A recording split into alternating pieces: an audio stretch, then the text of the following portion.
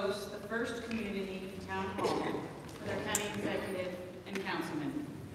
We believe a schoolhouse is a wonderful setting to bring the community together for these important conversations. So, without further ado, it is with great pleasure that I introduce to you Baltimore County County Executive, Johnny Olszewski.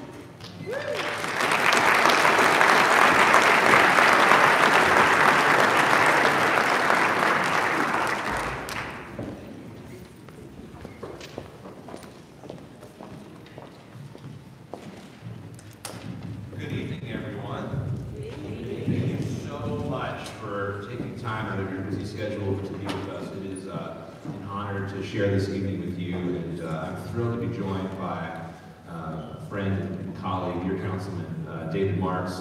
Uh, It's, uh, it's really great to have him here with us, and I want to thank him for agreeing to help co-host uh, our first town hall. There are a few other elected officials I'll I'd like to introduce briefly, and if I miss you, if you want to you know, raise your hand and let me know. We do have a few other council members here tonight in attendance. County Councilman Todd Crandell is here. County Councilman uh, Izzy Patoka is here.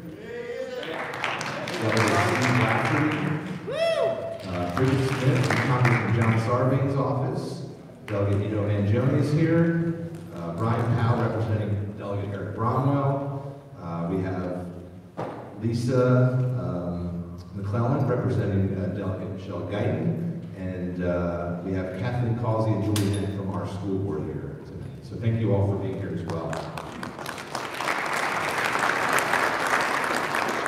You know, it's, uh, it, it seems like uh, a long time. It's hard to believe that uh, just about two months ago, uh, Councilman Marks and I were both still out on the campaign trail.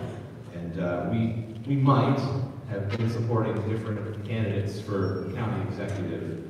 But what I can tell you is that throughout that process, Councilman Marks and I have both talked about um, the importance of bipartisan collaboration. We talked about it during the campaign, and what I can tell you is he has lived that out since the there has been a spirit of collaboration and partnership that has transcended party line and, and ideology. And I want to thank him and his colleagues for that, um, because I think that's the only way that we're going to get things done. It's, it's a shared uh, goal, it's a shared purpose to move our county forward. So, um, with that said, I just want to let you know that so this evening the plan is I will have a, a brief presentation um, about the county budget.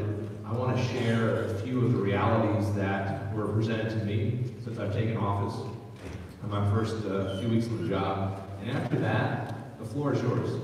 Um, I'm here because we want to listen uh, more than talk, and we have members of our outreach team uh, in the audience. Uh, if you all can raise your hands or identify yourself. Outreach team, some in the back, okay? Uh, to help answer any questions you may have and, and provide uh, follow-up. Before I turn the mic over to Councilman Marks, I just want to again uh, recognize and thank Principal Holmes um, and her team at Raven for hosting us here tonight. And I, I think it's, I think as she mentioned, it's fitting that many of our town halls are going to be held in schools. And I think it sends a message about our priorities uh, with education continuing to be important. So at this time, I'd like to welcome Councilman Marks to, to say a few words.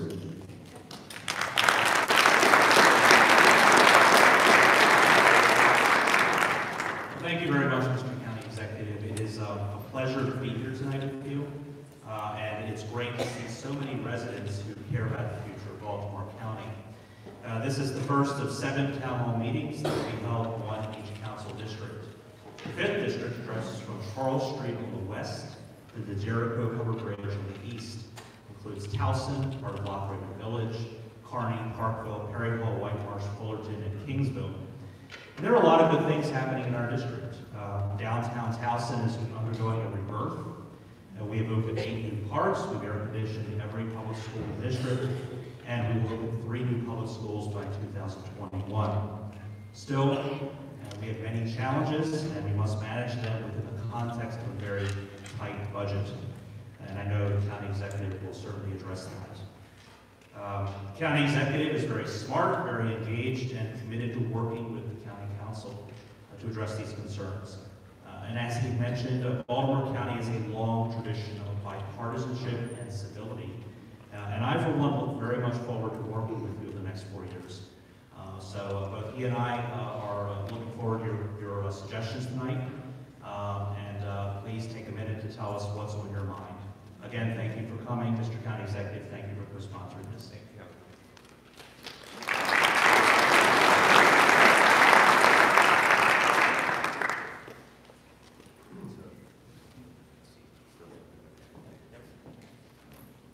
So tonight is a conversation about our priorities. It's why we're co-hosting these town halls throughout all of our council districts. And I want you to know or reaffirm that I ran for county executive because I'm committed to building a better Baltimore County with our council members and with you. And I think that for all of us, that means investing more in the things that matter. Investing in our schools, investing in our communities. That's the what. But the how is also important too. And Building that better county means making government more accountable and more transparent, and that's why we are, in fact, doing uh, these town, these town halls. You might be surprised to learn that uh, over the last two years, does anyone know how many people testified on our county budget?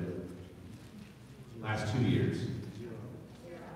Zero was two years ago, and last year we had both the two people. Um, we had two people last year, and so two people in the last two years. And I don't think that's because clearly people don't care about the issues that confront the county. Um, but I think it happened because a lot of the opportunities happened so late in the process, um, or there was insufficient information to really meaningfully engage. I've also heard from citizens that they just told me that they didn't feel like their input mattered. Um, and we're here tonight to try to change. So tonight is the first of seven. As we move into the budget cycle, um, we'll be posting more information online about our budget and its process than you've ever seen from Baltimore County before. Uh, one of the things that's been interesting, uh, we've been spending a lot of time digging into what's working and what's not here in Baltimore County. And at my first meeting with the Director of Information Technology, he shared with me the 1851 rule. Um, and that was that for many, the attitude was that that's the way we did it in 1851, so why would we do anything a little different? Uh, you know, that was eye-opening in many ways. We spent a lot of time talking about innovating in government, and uh, in some ways we found government's been allergic to the idea. So what we're doing tonight, bringing information, partnering with the council, isn't something that's been done before. Um, we are trying to change that paradigm of avoiding engagement and move towards actual I don't know if it was because people feared that if we're honest about the issues we're facing, uh, people think less of us, but I, I come at it from a different perspective. I think the only way we can run the government responsibly is to be honest about what we're facing and listen to you about what those priorities are. Uh, so let's start with the budget and uh, let's, let's talk a little bit about the basics. Um,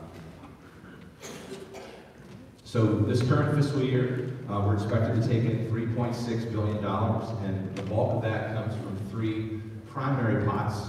Um, that's the property tax, the income tax, and state aid. We also bring in money from things like permit fees and restaurant inspections. Um, we receive federal aid for things like transportation and education, and we have some service taxes on hotel, motel, and public service utility.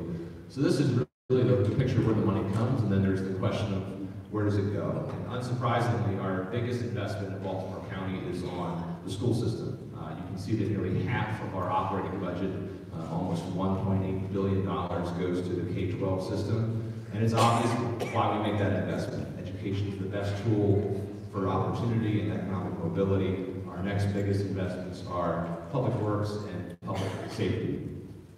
There's an 8% non-departmental slice that uh, our budget guys use to categorize things like healthcare and pensions, um, and that's all on the operating side. So then we turn to, to capital. How do we do the bridges and the roads and the schools that we talk about? The two biggest sources for our funds there are general obligation bonds and metro district, district bonds. Um, the, the GO or general obligation bonds are the things that you see every general election that you vote for, bond questions. Um, and then the metro funds are bonds that are repaid by the revenue from water and sewer fees. So on the capital side, where the money goes um, is largely, we spend a large amount of money on those capital dollars on upgrading our aging water and sewer infrastructure. And as you can see, the next biggest investment um, on our capital side goes to our schools. So that pie chart's about providing a good snapshot of where we are in the current budget, uh, but I think only tells part of the story. Uh, so we're going to spend just a few minutes walking through some of the challenges we face um, in future budgets as we sort of move ahead. Um, as the councilman mentioned, we've actually spent a lot of money on the Schools for Our Future program, uh, driving a lot of progress in eliminating overcrowding in elementary schools, modernizing schools in need, and centralizing, putting central air in uh, across our county. Countywide, we've air conditioned 59 schools, uh, built 16 new ones, and put additions of 12. Closer to home, here in the fifth, um, there were 10 schools that have been air conditioned at the elementary level. Stoneleigh was renovated and had the addition. Um, Dumbarton had a renovation, and then there's also um, the new Honeygo Elementary School. In addition to that, there's still a planned middle school as part of the Schools for the Future at the Nottingham site. Uh, and it's important to remember in the context of all that, that this plan is still underway. Um, the work isn't done Schools for the Future. Uh, while 75 projects have been completed, there are four that are currently uh, in process and 10 that have yet to be started. Uh, and the estimates for completing the Schools for Our Future program uh, is more than $600 million or more. So bear in mind that the state gives Baltimore County, um, on, on average, between 40 and 45 million dollars annually towards these capital construction needs. Our best year in the last five years was 49.9 million. And in order to stay on the accelerated schedule that was presented when the Schools for Our Future program was initially um, established, um, and have that program be complete in fiscal year 2021, which is next year's budget. Uh, we really have to have um, some acceleration from the state um, of Maryland to make that happen. Um, the state has to accelerate their contribution towards our projects because if they don't do so, it will require the county to push those projects, the existing projects out until fiscal 2024. So the good news there is that Governor Hogan has proposed significant new investments for school construction, uh, which means Baltimore County can get more, um, potentially a whole lot more if the legislature passes that bill or identifies some other mechanism to accelerate capital contributions to Baltimore County. Um, so I support the proposal and look forward to working with the uh, legislature and our delegation to build some bipartisan support. at schools. Um, another issue that we're going to be facing in the years ahead is uh, retiree health care. Um, folks who worked for Baltimore County for a long time uh, receive life and health insurance um, after they retire, and we have an obligation here in Baltimore County to ensure that these uh, OPEB benefits, which provides the health and uh, life insurance, uh, remain solid. But for the past uh, few years, we haven't funded it the way that we should. And as a result, the way things stand right now, the fund has about $385 million in assets, which sounds like a lot, until you realize that we have $1.9 billion in liabilities. So we're funded at about 19%, and we need to try to get to at least 50%. Uh, and we have to pick up those payments, again, if we're going to honor those commitments to public servants who put their time in working for Baltimore. Additionally, uh, we're facing some environmental obligations. So in 2005, we entered a consent decree with the federal government on our sanitary sewer system practices. Um, we were accused of uh, being in violation of the Clean Water Act and putting it sort of politely, uh, we're dumping raw sewage into the streams, creeks, and rivers that run into the bay. So as a result, we entered into a consent decree that requires us to eliminate those overflows. Uh, last year, we borrowed 268 million to invest in our wastewater treatment, uh, but it's estimated that we have to spend an additional 696 million dollars in 2019 through 2023 uh, to meet that obligation of the agreement. At the same time, uh, under federal law, we're required to reduce runoff um, into the Chesapeake Bay, and so the remediation practices necessary to comply with that law and to have the permits associated with it also costs money. Um, so some of you may remember the rain tax. Uh, that was originally how the county intended to pay for those investments. Uh, but that remediation fee was repealed in 2017, and so that $24 million a year to pay for the investments um, is actually coming out of our um, our metropolitan fund to pay for the water and sewer upgrades. So we are paying for it there. But that does also mean that it's twenty-four million dollars that we're not spending on those, um, enhancements. In addition to those um, needs, I want to talk a little bit about our personnel and our workforce. Um, So over the past three decades, Baltimore County has done a lot to constrain the growth of general government um, in order to prioritize schools and public safety. Um, So actually, Baltimore County has cut its workforce by 24% over the last three decades, while growing our public school workforce by 50% and our safety workforce by 16%. Um, And all the while, uh, the county's population grew by 20% um, to about 832,000 people. So, where do these cost drivers lead us? Um, Our current budget is balanced. Um, We're in the 2019, where that red and green line match up perfectly.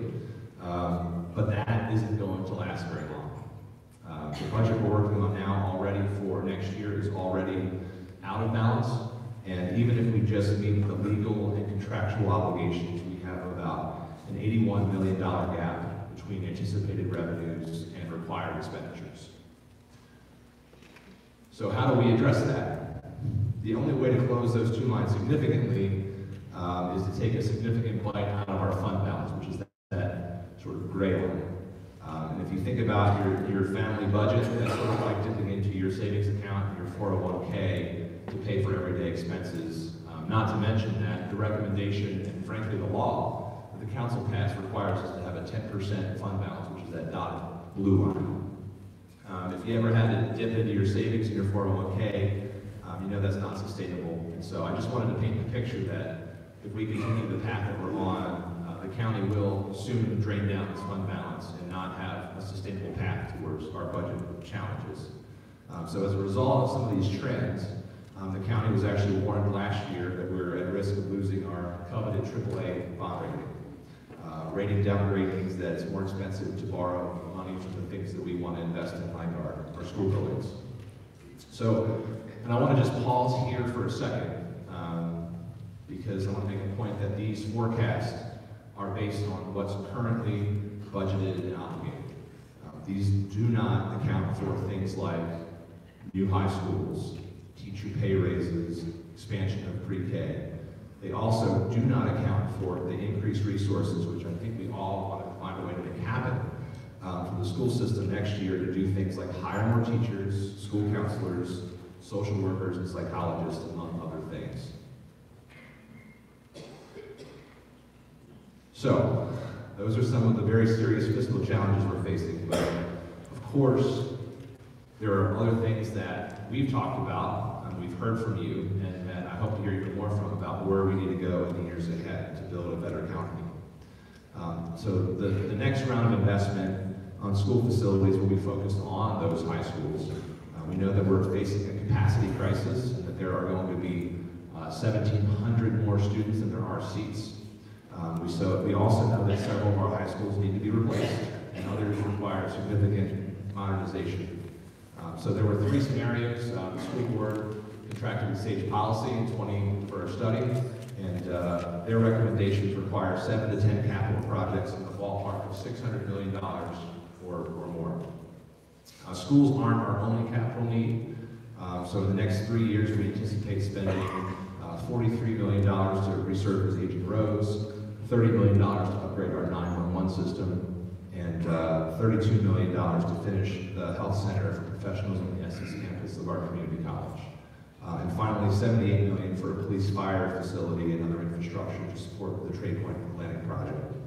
Now, these investments aren't frivolous. I think they go a long way to ensure a high quality life. And frankly, in some cases, like road resurfacing, the experts actually suggest we should, we should be trying to find ways to spend uh, even more.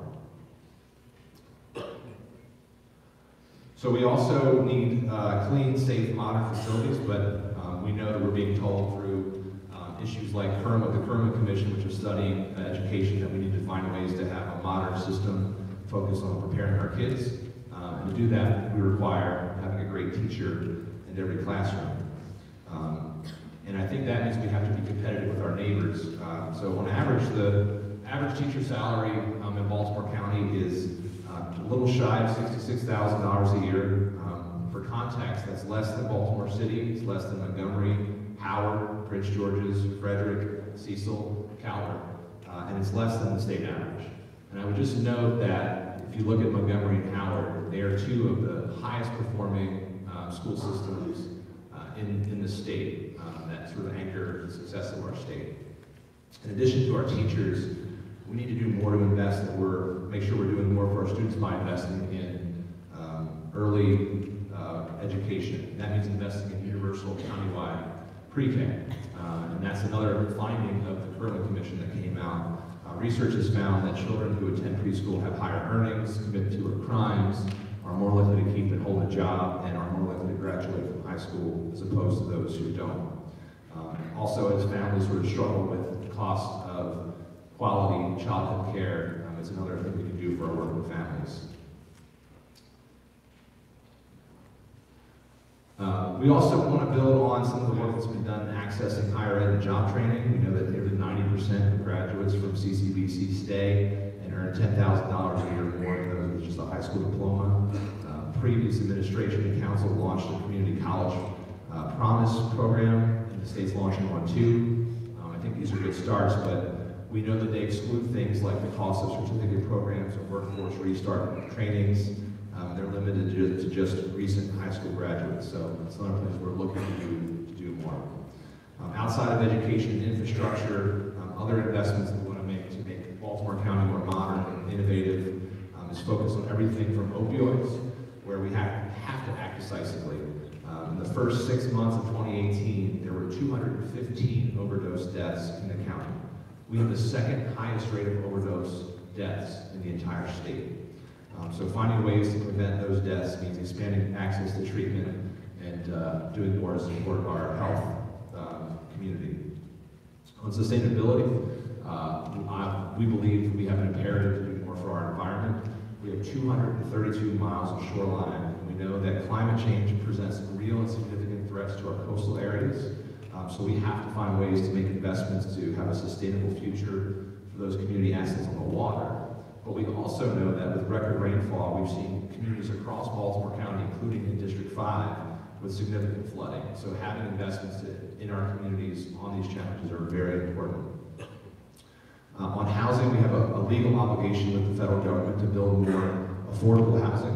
Uh, we're ahead of schedule on that front, but there was a $30 million housing fund that was created that has already been largely expended. So we haven't met all of our obligations there, uh, and that fund was largely expended before coming into office.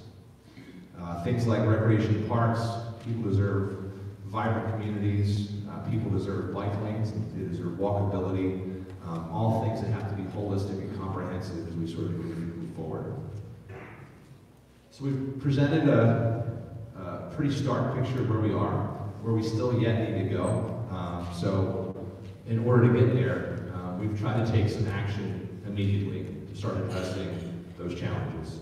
Um, I believe that most organizations benefit from an outside set of eyes, and I think government's no different. So uh, the first official action I took uh, the day I was actually sworn in was to create a commission, a Blue Ribbon Commission on fiscal sustainability. They're, they're tasked with taking a top to bottom look at all of our practices to find ways that Baltimore County more streamlined, uh, that we can be more transparent in our numbers, uh, and more honest with you. It's a seven-member panel. The council nominated three. We put up four.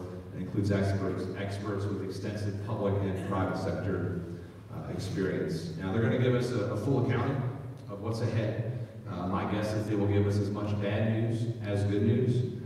Uh, but I think it's important to get everything on the table so that um, the, the, public, the county council, and our administration has a better picture of where to go. Uh, now, Baltimore County also does an annual fiscal audit, but I want to go further than that. Um, so, in, I will be issuing uh, an RFI for a countywide performance audit to determine ways of additional efficiencies and savings.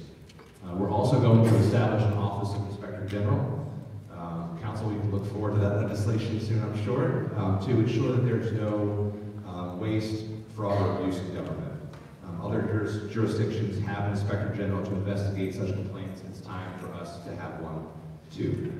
Uh, I've heard some stories from employees about being afraid to report things for fear of retaliation and so we're going to make sure we empower and establish an independent agency to take these reports seriously. We're also going to move towards a performance management system. Um, so when Baltimore City launched CityStat nearly 20 years ago, they were ahead of the curve. Two decades later, uh, we still don't have one here in Baltimore County, which puts us way behind the curve. Uh, so we're going to use our data to communicate with you about performance and to hold our agencies accountable in delivering results. Uh, additionally, we're going to make sure that we leave no money on the table. Um, we can do a better job um, and leave less money on the table when we aggressively pursue grants from the state and federal partners, as well as the private sector, both nonprofits and for-profit businesses. And I've already directed my department heads to start pursuing those opportunities as we try to increase capacity. Finally, um, I had a conversation with our department heads where we instructed them to develop budgets for the upcoming fiscal year that assumes no new revenue. Uh, I told them to identify programs that might have outlived their purpose, collaborate across programs to find and eliminate redundant practices, because we're going to have to look at every nickel we spend in Baltimore County to determine if we need to be spending it, and as hard as it will be to find some programs that aren't core to our mission or achieving our purposes. Uh, on April 15th, I'll announce uh, and introduce my first budget to the County Council. Uh, they have until May 31st to review and approve it. Uh, but this is where the fun part is. You have a role to play. Uh, and so please continue to send ideas to us at ideas at baltimorecountyMD.gov. Uh, please remember that what we do isn't in a vacuum and that we do have the start of the legislative session that's underway. And having partners at the state is really critical for the success of Baltimore County. So our delegation in Annapolis are our partners. They'll be fighting for us, and please let them know that you're, you're with them and pushing alongside them. So I said at the start, this was meant to be a conversation about what kind of county we are and what kind of county we want to be. Um, I think that we can be both fiscally responsible and forward thinking, but that starts with honest conversations about what our priorities are and where we want to go. Um, so that's where we turn this over to you because we want to hear your thoughts about what your priorities are for you and your family. So if you're interested in sharing a comment uh, with myself and the councilman, if you want to start lining up the, uh, the, the walkways there, um, and assuming there are some folks who want to talk, uh, we can try to make sure that we have enough time for everyone to speak, of uh, keep our, our remarks to a few minutes. Uh, if there's more time, we can sort of circle back around. We want to make sure that everyone has an opportunity. Uh, if there are needs for follow-up, um, one of our community liaisons can make sure we, we can as well. And so we'll just, we'll bounce back and forth. So. Thank you again. Good evening, County Executive, Councilmen, elected officials, and my fellow citizens. My name is Elizabeth Eck. I represent Burkleigh Square Community Association. Burkleigh Square is a small, mostly row house community of about 100 homes, two blocks east of Towson University. The major issues we face in Burkleigh Square are as a result of Towson University's steady growth and spillover into surrounding neighborhoods, including ours. TU's goal to expand to a 25,000 enrollment without adequate on-campus housing has had a tsunami effect in our community. As older owners aged out, homes have been bought up by investors who rent to students. Most of those investors do not abide the law that no more than two unrelated people can live in those homes. We see four and five people crammed into these houses, and the result is a crush of too many cars, too much trash, regular noisy parties. Burkleigh Square has traditionally been an affordable family neighborhood. Now it's turning into a student ghetto. Our community has taken landlords to court for rooming house, boarding house violations and trash violations for decades.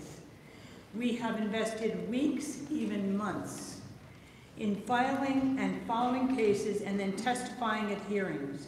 But the administrative law judge steers violators to compliance versus enforcement, so that in rare cases, violators pay fines. County courts need to enforce the financial penalties for violations, especially from repeat offenders. The county needs to institute a law that if there are multiple violations against a property, be it for rooming house boarding violations, trash, social host ordinance violations, that landlord's rental registration should be terminated, period. The burden of proof regarding these violations falls to the residents. Adequate resources should be allocated to the county to assume this role. We have lost many Burkleigh Square neighbors who no longer wanted to put up with the erosion of our community. Towson belongs to all of us, not just Towson University. We stridently appeal to you to fix this broken system. Thank you.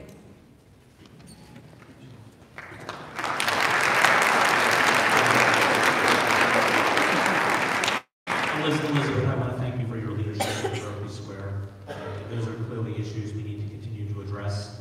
Uh, You are correct, that the explosive growth from Towson University in some ways had a detrimental impact on neighborhoods around the campus. Um, I do think that Towson University steps to build more camp- more housing on campus, that's helping. I also think the social host ordinance is clearly helping. We can always do more. Thank you very much. Thank you.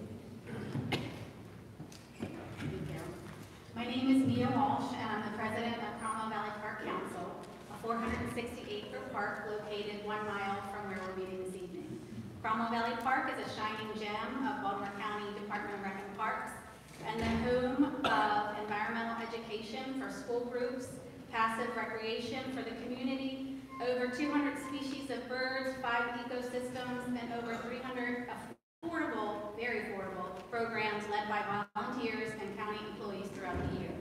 I'd like to thank Councilman Marks, who has always been a supporter of our initiatives, and I'm looking forward to developing a relationship with our new county, county executive as well. I'd also like to thank Chris McCollum, the Executive Director, Director of Rec and Parks, for his guidance and leadership as I took over as president in 2017. He's been wonderful.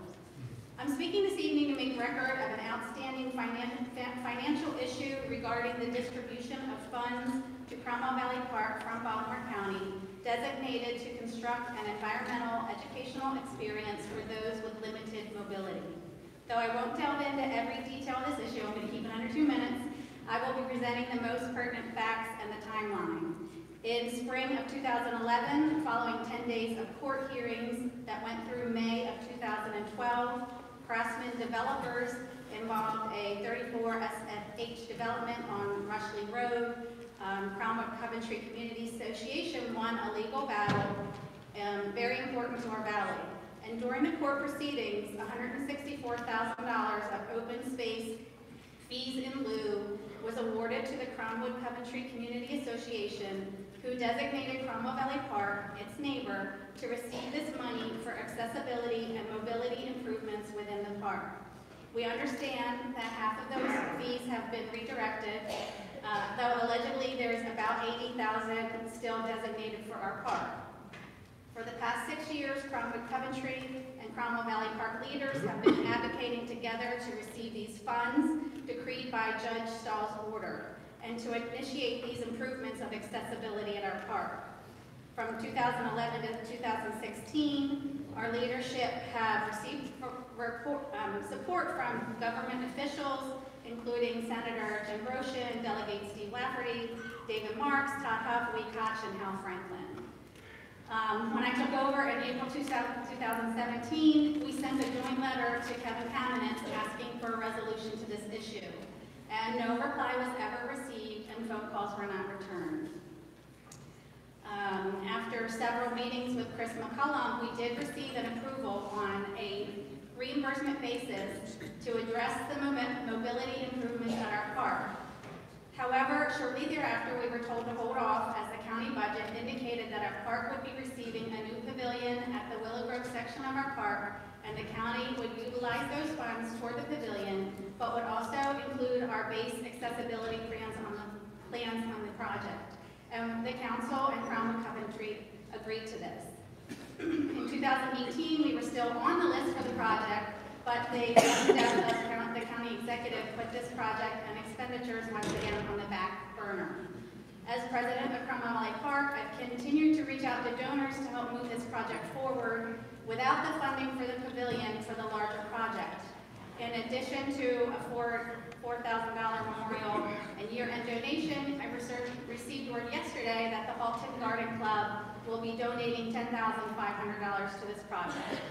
We are still in need of the original funds ordered by Judge Stahl to realize our vision of access to our educational barnatorium for those in wheelchairs, permeable surface to our Willow Grove Nature Center, nature disco- discovery zone, and children's garden.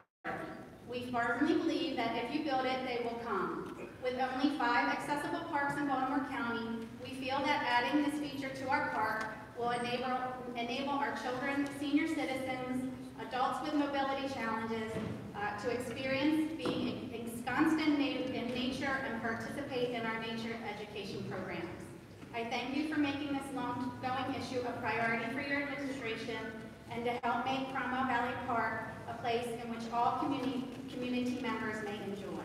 Thank you for your consideration. Thank you. And if I could just ask to make sure that someone on our team can make sure that we're getting, if there are copies of what you're sharing and we have the contact information, because what we don't want is for anyone to not have a return email or phone call. Uh, that, that is important, so we can make sure that the team, that you're out there, can make sure you're getting that information. Thank you so much. Well, Thank you.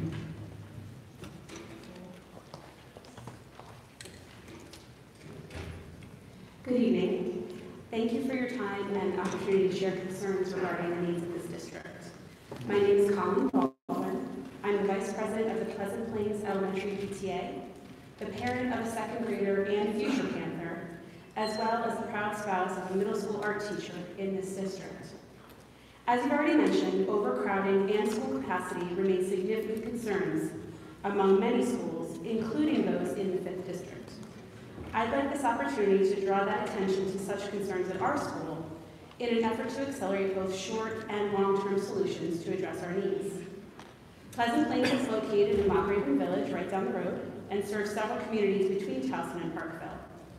Our state-rated capacity is 509 students, yet as of today, our enrollment sits at just over 700, which equates to 138% of that state-rated capacity. Historical and future projections from the school system have predicted declining enrollment. However, actual school enrollment data show quite the opposite. The level of overcrowding creates potential safety concerns during arrival and dismissal, in navigating the hallways and relocatables, and in providing adequate restroom or cafeteria capacity. By way of example, our lunch schedule begins at 10:30, meaning some of our students are having lunch only two hours after being provided breakfast at school. Based on a 2014 facilities assessment, our building's core space is undersized for its state-rated capacity. Furthermore, a 2008 school system report to assess elementary school overcrowding in Towson indicates that while there are some challenges, our building and property are largely favorable for renovation and expansion. While we've been in in previous capacity and boundary discussions, we've genuinely felt little impact from some of the recent area changes, such as the building of West Towson or the expansion of Hampton. We are keenly aware that the needs of Pleasant Plains are not unlike those in other county schools. In fact, many of our neighboring schools are experiencing or are on the verge of similar overcrowding issues, suggesting that redistricting alone would not comprehensively address the issue. We strongly believe that Pleasant Plains must be among those schools considered in the near-term capital improvements to sustain our students and staff, thus benefiting the community at large. We have begun to address our concerns with the school board, as well as our community superintendent, who we have the opportunity to meet with this evening. We just respectfully ask that county leadership also continue to play an active role in developing meaningful solutions with all relevant stakeholders, and welcome the opportunity to discuss this further in the near future. Thank you so much for consideration.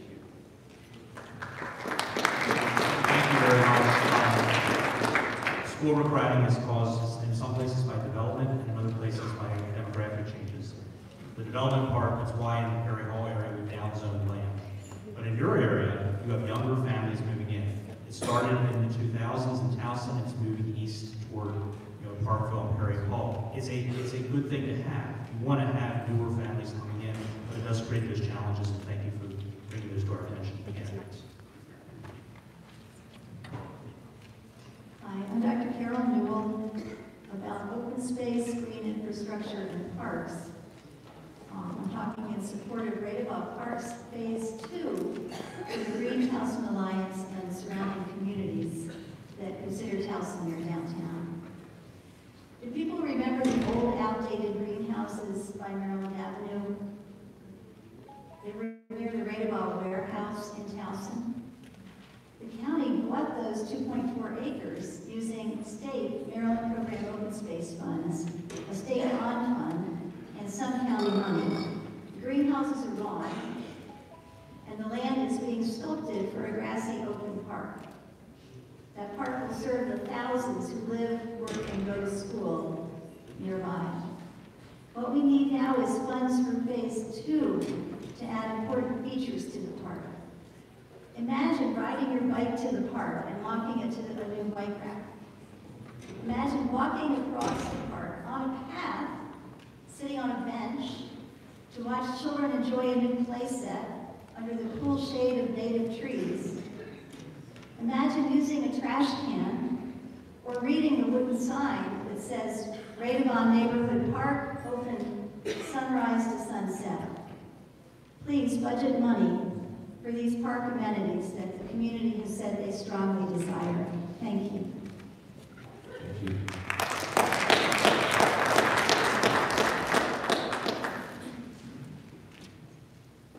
Hello, uh, I am Beth Miller. I'm Green Towson Alliance's Downtown Towson Work Group Chair.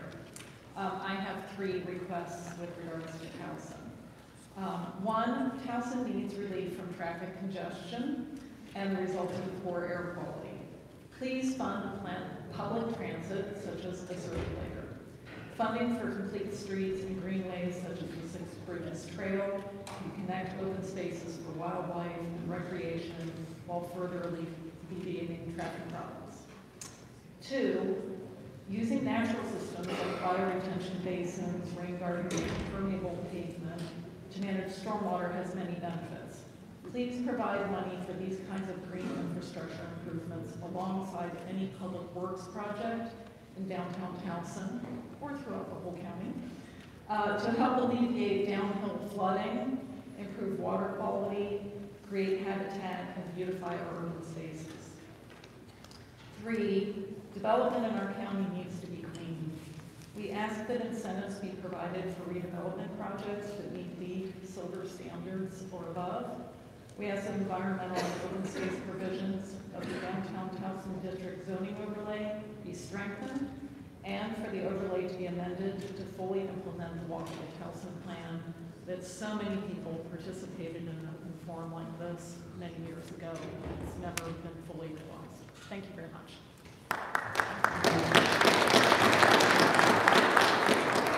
Among the many things that the councilman and I agree on is expanding uh, the transit options. We've both said, I think, in several forums that uh, Towson would be a great place to start a circulator project that helps addressing those concerns. So look forward to working with you.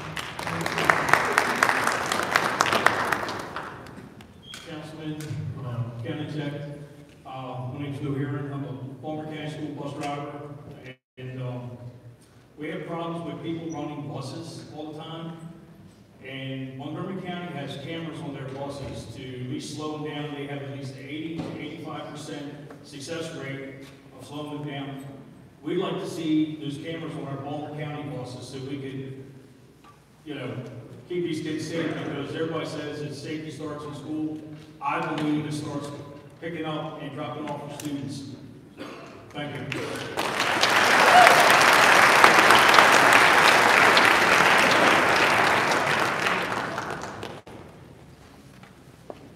My name's Scott Paul. I'm here representing three individuals, my, me, myself, and I. Not necessarily in that order. Still get time for one person. All of us are familiar with the phrase, attitude is everything. The older we get, the more we understand how meaningful and significant the phrase is. When I travel about within my small world within Baltimore County, I am constantly reminded of the phrase, because I notice the trees on county-owned property. In addition to the shameful state of too many of the 30 to 40-year-old willow oak trees along Bosley Avenue bypass in Towson. I see other trees also destined to a premature death because I see wrong trees planted in wrong places, or trees planted at the wrong elevation within the hole dug for them, or trees planted along the street with inadequate space for the tree's trunk and root system. I also see trees suffering with root girdling, or umbrella effect drought stress, or rodent damage, or fungal disease, all of which are either a direct result or an indirect result of mulch volcanoes. Every single one of those issues I just mentioned are man-made, brought about by either poor training or poor attitude. I prefer to believe, and I do believe, it is more the former than the latter. However, the better training must begin with a better attitude, or the training will be inadequate or not followed. When a taxpayer asks the appropriate county employees to address the result of those issues, the answer is always, no funds have been allocated by the council. However, almost all of those funds would be unnecessary if correct steps were taken initially. Although funds are needed to address the mistakes made, this is clearly a case where an ounce of prevention is worth a pound of cure. The fix is easy. A better attitude followed by better training. Thank you.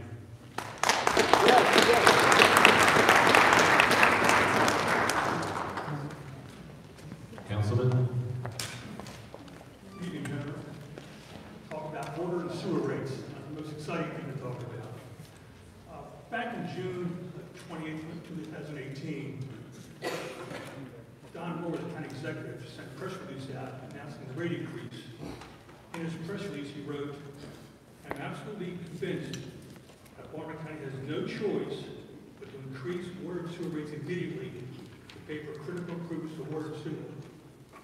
To his word, in the tax bill, a little pamphlet, he increased sewer charges thirteen percent, water distribution, charges twenty-eight percent. And this again is for effective and service fees to be used for the use and maintenance of sewer and water systems. I don't doubt that that's needed. Most of our infrastructure was built in the fifties. I was born in the fifties, put on a farm, park together, I understand that. What bothers me is in December, you used some of that money, forty-four million dollars, for private development. Now, I'm not arguing against the merits of the, of the development. It's, it's actually sounds like a real good project. My concern is, we're told one thing, hey, we really need this money. And even when your charts showed, I think, six hundred million dollars needed. So here we have a situation where we really need the money, we have to do this, but we, they take the money and give it to a private developer. Now, I know there's a payback, um, of the forty-four million dollars taken, I think twenty million dollars will be paid back over forty years. I'll be between 104 and 110 when that happens. You have great children, great, maybe great grandchildren by then. But my argument is, it's just not right to say, hey, we really need the money for this, and then take it for something else that's not related to the issue. Thank you.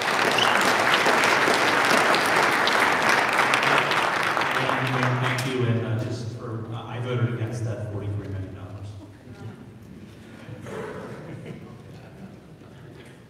Good evening. I'm Carolyn Barron, and I represent the Friends of the Towson Library. This is a wonderful branch. It's a great location. They have a very impressive collection there, and they have wonderful programs. But people who are pedestrians, people who are coming off the bus, have a very hard time getting in the door. And um, so this is a a fiscal, uh, a facilities issue that we need some help with. And, and this is a reminder because I remember that last year, Helen uh, took you on a little tour of what a person goes through if they actually have to walk into the library. Now, it's one thing if you drive into the parking garage. It's a little bit of a learning curve to figure out what level you should park on and how to get into the library there. That's how most people get in. But for those who need the library most, those who are walking there, those who are taking a bus, They have to find from that corner of Chesapeake and York, they have to find their way down a, a very sloping ramp to get in those doors. And then they have to climb this ramp that spirals up to the third floor, which is a real treat. If you have a baby stroller and you have a little toddler hanging onto you, and God forbid, you should have walked in there with a cane or a walker or a wheelchair. On that lower level, you have to, after you've risked your life going down that ramp, you have to uh, figure out how to get a hold of the library staff for them to come down a service elevator and get you. So it would be really lovely if you could provide a working public elevator for people to actually use all the money that we've already put into that library. And the Towson Friends have a wonderful fundraising book sale that they do every spring, but it doesn't bring in that kind of money. It brings in money to get new toys for the children's area, to do the gardening, that sort of thing. But this is a building that's owned by the county, and I really feel that the county ought to pay for an elevator that serves people. So, thank you for considering that.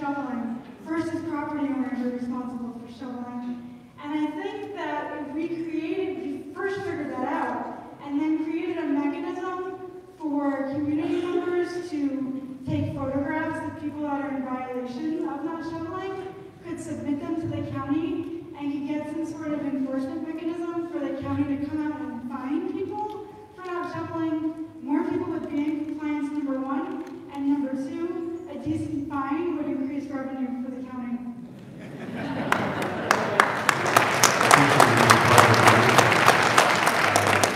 This might be a good time to actually remind the entire audience that if you don't, if you've got a smartphone, um, if you haven't already downloaded, there's a, it's called Baltimore County Go app, uh, Baltco Go. And actually, one of the things you can do is if there's a code enforcement complaint or concern in your community, um, you actually can take a picture of it and submit it um, through your app and, and get updates from, from Baltimore County relative. So we actually have that one covered. But I love the recommendation about the, uh, the treatment, so thank you again. Hard act to follow, she had it right on. I'm Brenda Bodian, and I'm here on my own behalf, but also a member of the Save Towson's Gateway. And I know that um, you were at the April 18th last year Tree Gate gathering at the corner of Bosley and York um, to try to find some answers as to what remediation would occur for 30 trees, major trees that were taken down, mature trees that were taken down from that property. And we've made a lot of progress. The developers have come up with a plan that's more suitable and are working through the process. But we're getting conflicting answers from different people as to who's responsible for replacing the trees. And I know Councilman Marks and went and made an effort to try to find some way to get the county to replace those trees. And we're not talking a lot, about a lot of money. It would also help, you could, if there's not room in the downtown Towson district, there is room to do some kind of fee in lieu, and that could be utilized to plant trees to prevent flooding in any other part of, of our county or the district. We'd like it to be in our district, we prefer it to be in downtown Towson. But if you could look into that, and I have a little more uh, lengthy description and a copy for Councilman Marks, so that you can powwow and get back to me on that. Thank you.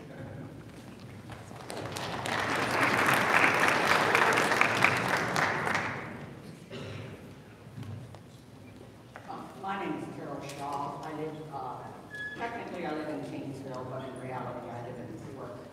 Uh, I'm on the board of the Gunpowder Falls Workers Preservation Association. But I have a uh, personnel question. There was an article in the Sun paper recently that said that Michael Mohler, the brother of Don Mohler, had been appointed the acting director of permits approvals and uh, inspections and he had been invited to apply for the position permanently. Now, coming from the corporate world, I know what that means. I did it myself. You applied, you got it. Uh, what, what are his, what are his qualifications other than family connections? I mean, he was liquor board chairman, and he was head of the rental registration unit, which didn't even report, report directly to, um. And this is ostensibly the most powerful department in the county. To me, uh, this, this doesn't promote transparency, openness, communication with communities. It, uh, it just looks like the same old, same old and political cronyism. So what I'd like to know is, what are your comments? Well, uh, thank you as always for your comments. Um, I think you actually outlined many of the responsibilities and roles that Mr. Mohler has had in terms of his appointment as acting director. Um, I meant what I said in, in the process. We have an open process. He and others should, should be applying for that and other open roles in, in the county government that are acting. Ultimately, all directors in Baltimore County are subject to review and confirmation by the Baltimore County Council. And so there's an opportunity for those qualifications to be reviewed uh, by, by my colleagues and, partners in the council. And uh, if they feel like that any individual is appropriate for that role, uh, they will be able to render that judgment. Um, I happen to think that in terms of having someone continue the work, that uh, he was the right person for that acting position. And we'll do a full, thorough um, review as we sort of always do for all of our positions.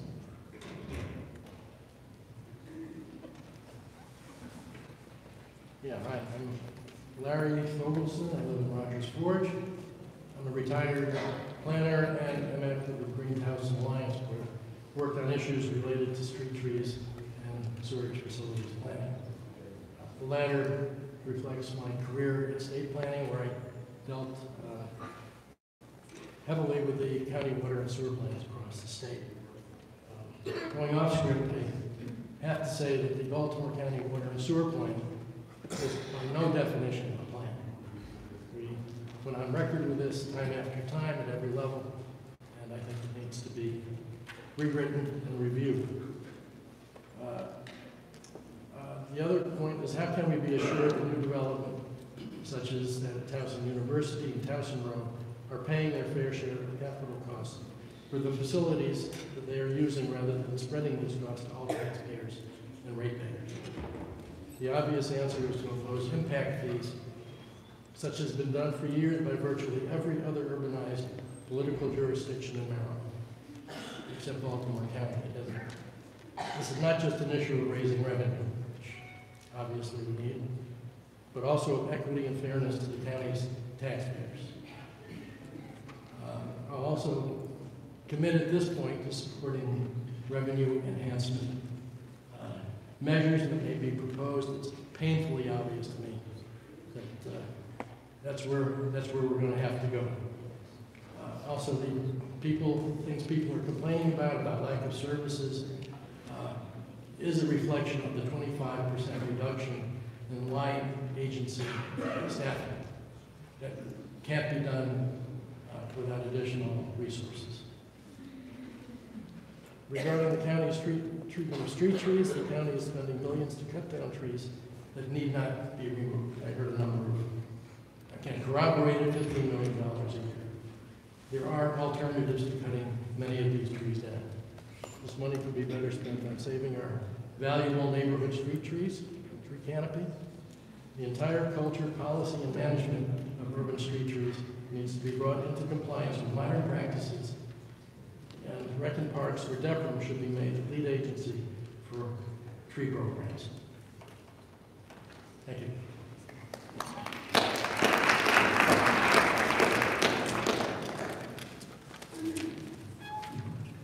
Thank you. Um, my name is Betty Campbell. I'm a cat owner, and I'm a former volunteer when CCMD ran clinics for the pilot program in Dundalk before they got kicked out um, in, fa- in favor of the county. Um, I've read the last two reports from the Animal Advisory Committee, and they are not flattering, and they are not good. And um, I think I can speak for a wide swath of animal advocates when I say thank you for asking Fred Homan to retire. Um, That being said, the TNR program needs work.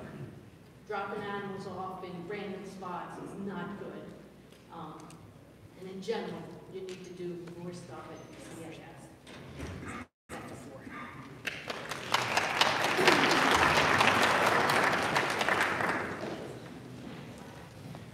Good evening. Thank you for having us. It's, it's a great, um, great start. Uh, we really appreciate it. Um, I represent many Baltimore County residents and voters who are very happy that you are very interested in helping us change Baltimore County Home Services. So we, we thank you. We are sick and tired of the problems, mistruths, and corruption in Baltimore County Home Services. The Animal Advisory Commission that you've met with has uncovered so many lies, a toxic work environment, overinflated salaries compared to other shelters, almost $200,000 for some of these people, the killing of animals unnecessarily, of which I've been involved in some of those. Um, and they do that just to make their numbers look good. Baltimore County Animal Service has never refuted any of the charges or findings in this report. Um, we do truly appreciate your help with uh, the exit of certain management. That's a, a start. We urgently ask you for a complete change of management at BCAS, an independent audit, and moving to a private-public partnership, which would save tax dollars. Thank you very much.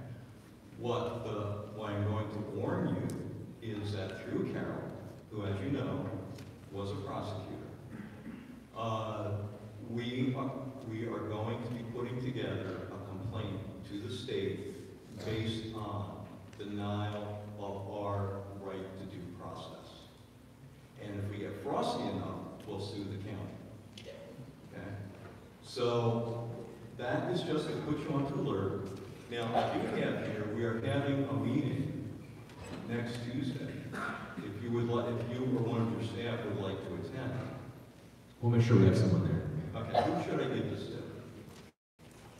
Just hand it to Timmy or Joel. So you can get the whole, the rest of the story.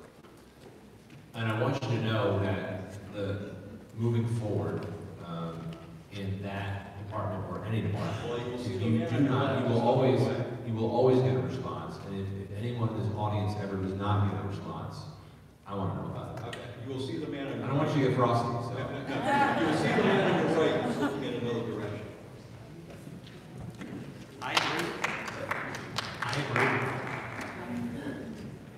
And, uh, before the next speaker, I, I think I may have neglected, and didn't have her on my um, sheet, but I also recognize one of our leaders, uh, in the General Assembly, uh, Delegate Catherine Schlegel is here as well. So. Mary Marnie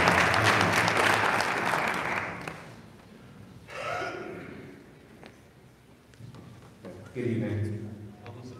Uh, my name is Sunday Umo. Uh, as officials discuss working with uh, Baltimore City in regards to crime, I want to quickly talk about the conversation regarding White Marsh Mall. I urge all Baltimore County officials that you do not punish the many because of the few. A 5 p.m. curfew for teenagers becomes discriminatory and will only affect a certain group of people. As a resident, I will find that completely disturbing. Thankfully, talks of limiting or eliminating bus routes at a certain time are over, I hope, as that was leading towards segregation. These past months have been going down a dark road that I want us to steer uh, clear from. In an area where crime has statistically gone down, I suggest officials get with White Marsh Mall to mimic what's going on in uh, the avenue across the street. Uh, which is by adding like a police presence to deter bad behavior, bad behavior from teenagers and adults. Again, let us not punish the many teenagers because of what the few teens and adults has caused these past months in an already decreasing crime area. Thank you.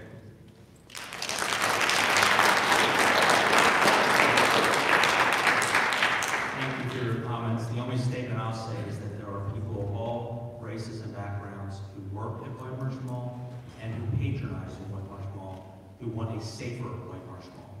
Thank you.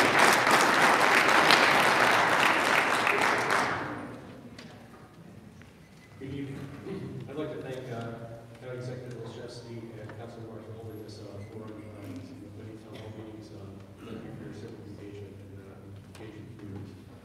My name is Bill Felter, and I'm the president of the Baltimore County Skateboard Council. We're the most recent addition to the network of Baltimore County Rec- Parks and Recreation Councils. We repre- represent the interests of thousands of Baltimore County skateboarders and their families.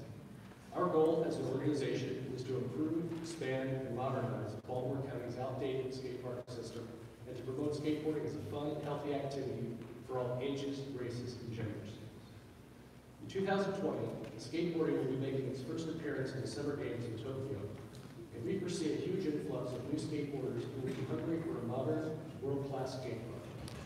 As they stand now, Baltimore County's three existing skate parks struggle to accommodate existing needs and provide no room for future growth. In addition, the existing skate park equipment is grossly outdated and does not provide skateboarders with a high-quality recreational experience. To meet the current and future needs of Baltimore County skateboarders, we want to create a network of regional and community skate parks that will serve county skateboarders and their families for decades to come. But modern concrete skate parks are expensive. And while our council is actively working to gain funding support through private public grants, business sponsorships, and grassroots fundraising, we can't do it alone. We are asking your administration to provide dedicated skate park funding in the next budget to help us create a new regional skate park, which we hope to have completed in late 2020, or just in time for the Olympics. In addition, we may be missing out on a tremendous funding opportunity due to the fact that historically, Baltimore County has not provided matching funds for state grants. In light of former County Executive Mohler's recent decision to set aside $200,000 in annual matching funds for foot paths and trails, the Baltimore County Skateboard Council asks that your administration consider expanding this very important source of funding for other recreational projects like regional community skate parks, which provide unique recreational opportunities for Baltimore County families. On behalf of the entire Baltimore skateboarding community, I thank you for your time.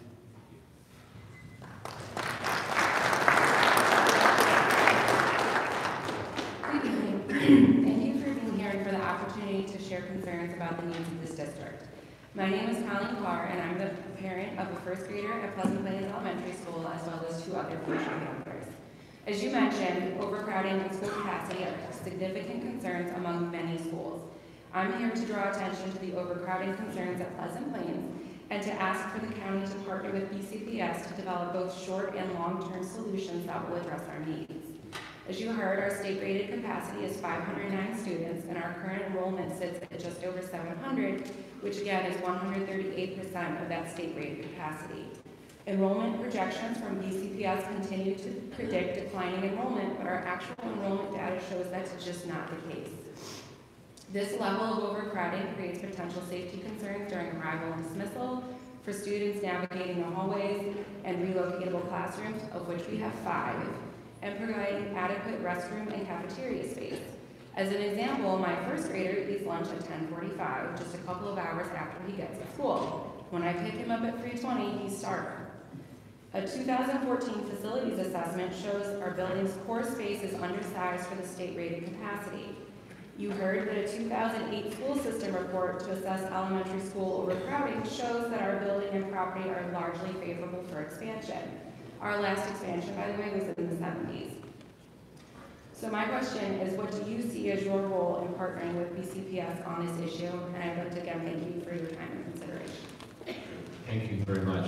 Um, Just sure you mean, our, our role is to make sure that we partner with the board. Um, One of the things that we've talked about is actually having a long-term plan, that we are not doing these things ad hoc any longer, um, so that we are comprehensive and thorough in addressing all those needs. Um, I recognize we can't do it all overnight, but at the same time, there's an urgency of getting it done, because every year, every day that we don't do something, your children and the children of Baltimore County aren't being served the way they should be. So um, I appreciate you sharing along with everybody else. Thank you.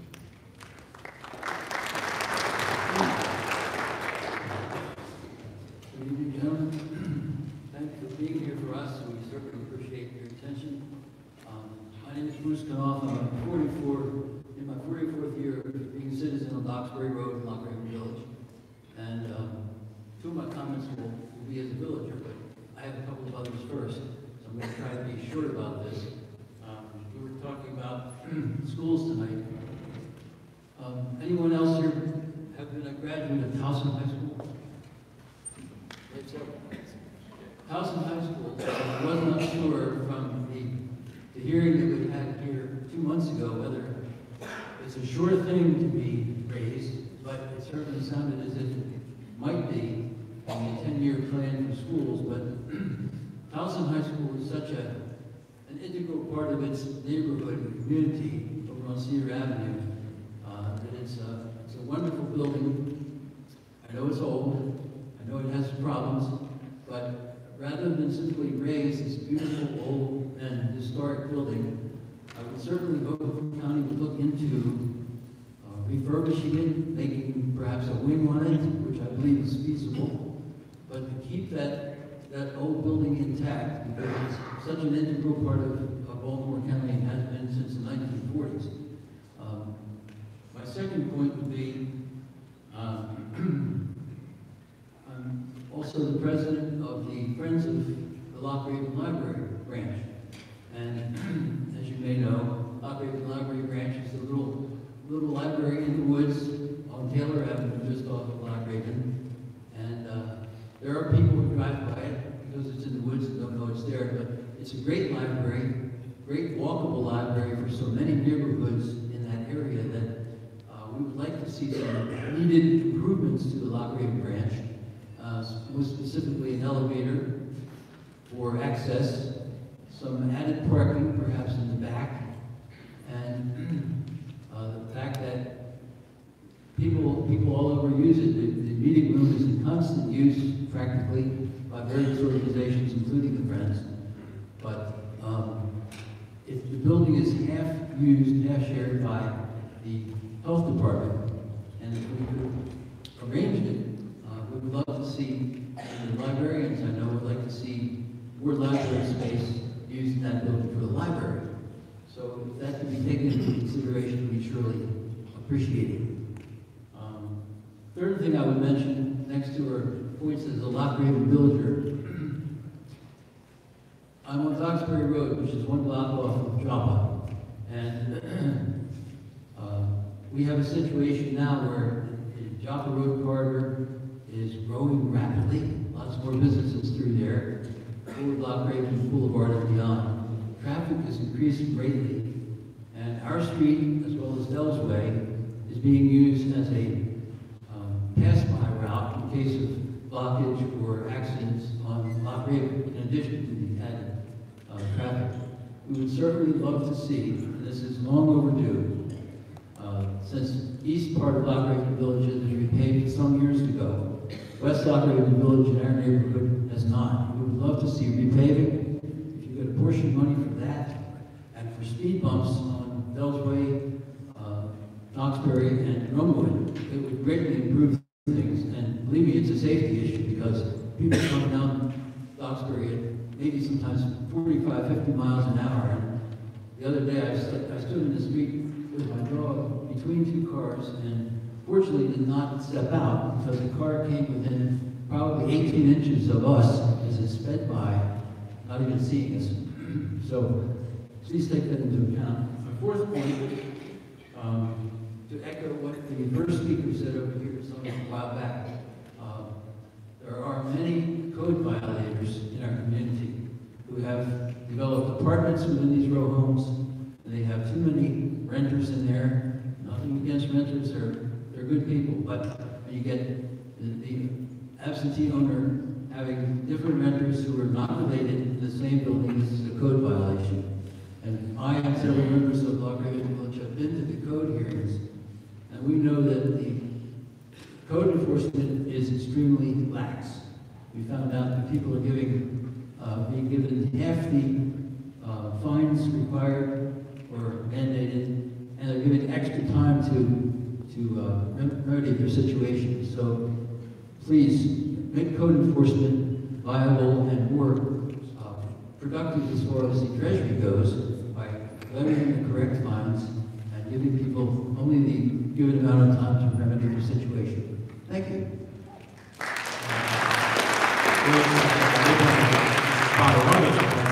With uh, traffic calming.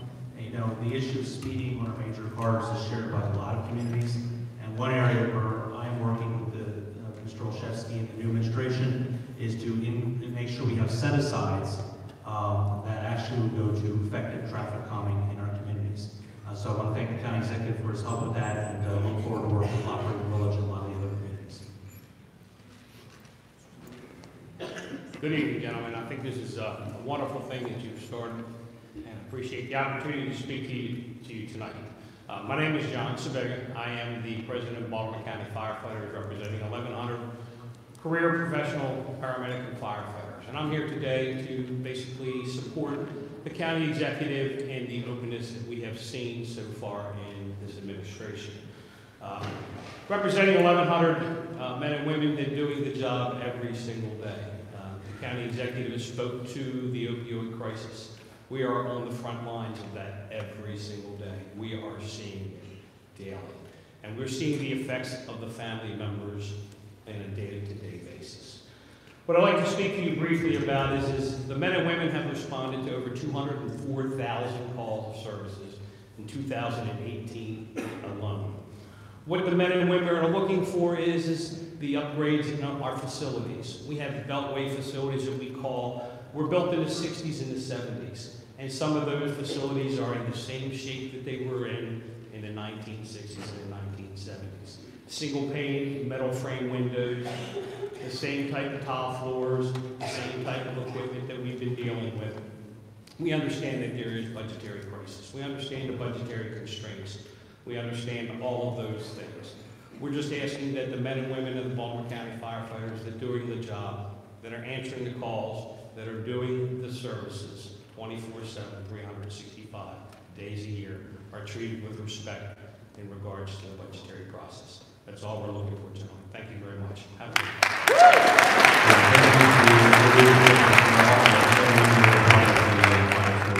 We really appreciate all that you do for us every day. Thank you.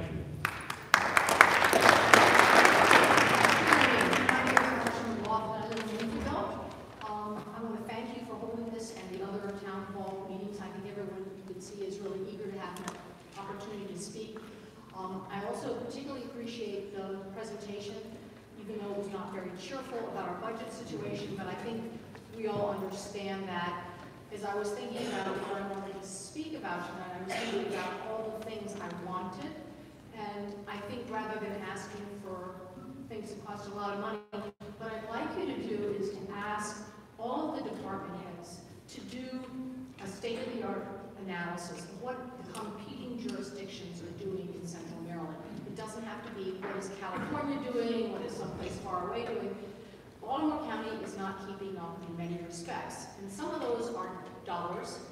Uh, There was a mention of adequate public facilities. Most of the other central Maryland jurisdictions charge developers based on the size of the development, numbers of units, for contributions towards schools, or contributions towards road improvements, or water and sewer.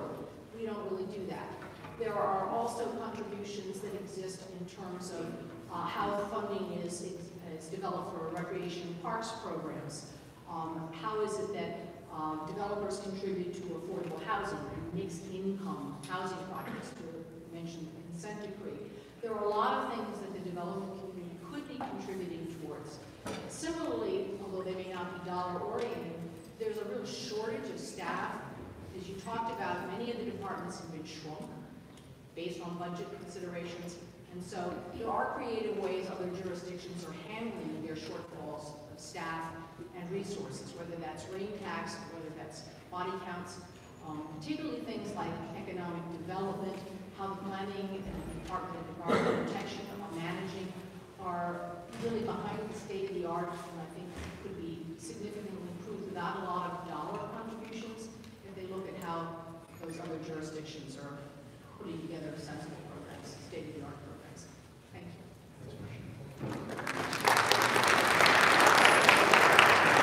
Thank you both for holding this meeting and for the opportunity to speak. Uh, My name is Jim Aber, and I'm a current resident of Towson, and I'm here on behalf of myself, my children, and all other families who have children that are going to be attending Towson High within the next five to 10 years.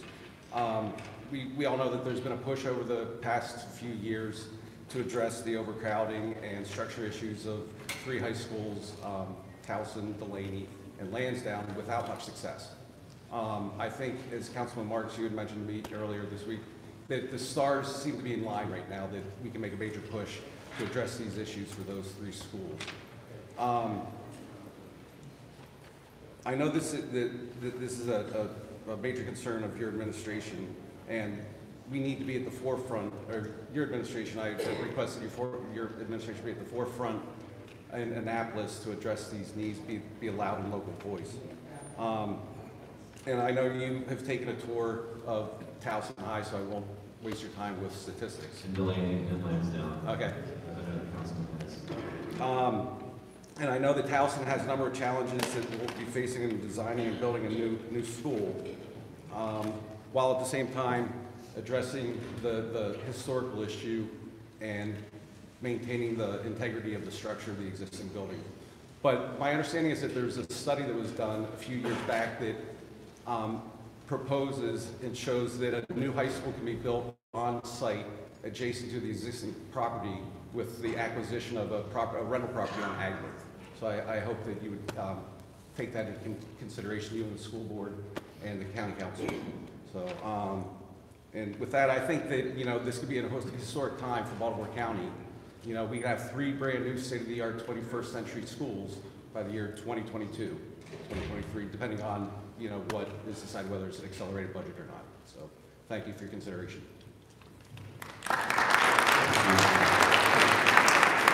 Listen, I think it is great that we've got all of the branches of government and different units. So, you know, again, thank you to our school board leadership and our members of the legislature who are here, uh, Councilman Marks and his colleagues on the council. I, I I think it sort of is helpful and instructive to the conversation moving forward.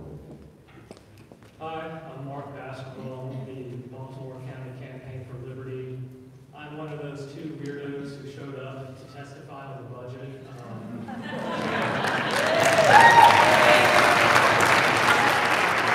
So, just for anyone who's not aware, our organization is basically about promoting civil liberties, lower taxes, and more freedom, and just making sure the government is subservient to the people, not the other way around. So, uh, one thing I just want to point out, uh, if anybody in the room is concerned about the expansion and mandatory Section 8 housing that is coming through with legislation this year, it's actually going to come through, it's required by a non-democratic mandate that was imposed on former county executive. Uh, just come talk to me or look us up at facebook.com slash Baltimore Liberty. But as far as issues, I wanted to ask you guys, uh, and you know, this applies to any community leader in the room, whether you know, we're in agreement or not on the issues. There are some uh, concerning anti-free speech laws on the books in Baltimore County and at the state level for any state delegates and senators in the room. Uh, they're disguised as ethics laws, but uh, I've talked with uh, County Attorney Mike Field about this, and they are encumbering citizens of Baltimore County from contacting their fellow citizens and having them uh, petition their council member or county executive. So, you know, if I go out, know, I spend over a hundred dollars on mail, postcards, uh, flyers, any sort of uh, media to ask people to contact their representatives on an issue. If I don't register and file financial disclosures on this, uh, I can spend 90 days in jail and be fined up to $1,000. This applies to any citizen who wants to spend over $100 uh, having, you know, trying to get their fellow citizens to pressure their councilperson or- or politician on a bill. So I know Councilman Marks, you're familiar with this. Uh, I believe you said you would do something about it. I was just curious if you all are, are familiar with this or have any ideas on how to address this.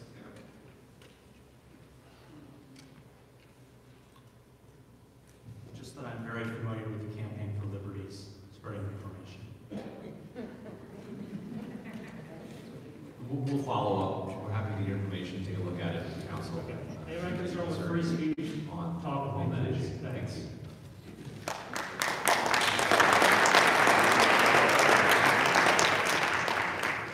Good evening. My name is Kathleen Durkin. I'm the Executive Director of the Arc of Baltimore. Nice to see you both again. Thank you so much for for hosting tonight. I'm here representing over 6,000 people with intellectual and developmental disabilities that live and work in Baltimore County. And also, we are the 43rd largest employer in Baltimore, employing about 1,000 staff. 75% of those are what's considered direct support staff. And those jobs are not minimum wage jobs. And I know I've spoken to you both actually about this issue. Our concern is that as the minimum wage increases, if the state does not have a corresponding increase, we will not be able to pay that wage. Our funding is such as Medicaid provider, we can't pass the cost on to our customers. So if the state does not reimburse us, and that does not correspond, as you know, if the minimum wage goes up, we are going to come to the county and ask for funds. We have a vulnerable population. We have direct support staff that are doing things like G-tubes and medication administration, seizure administration, or seizure support. And they could go and walk, you know, walk down the street, stock shelves, do, you know, online fulfillment of orders for a higher wage. That's just not right. We need to pay for what we value in this county, and I urge you to look at that issue. And I would welcome you to come and visit us, meet some of the people that we support, your constituents. We would love to share our stories and really help you to understand this issue. And I don't want to tie you up tonight, but I would love to have you come and meet with us. Thank you. Thank you.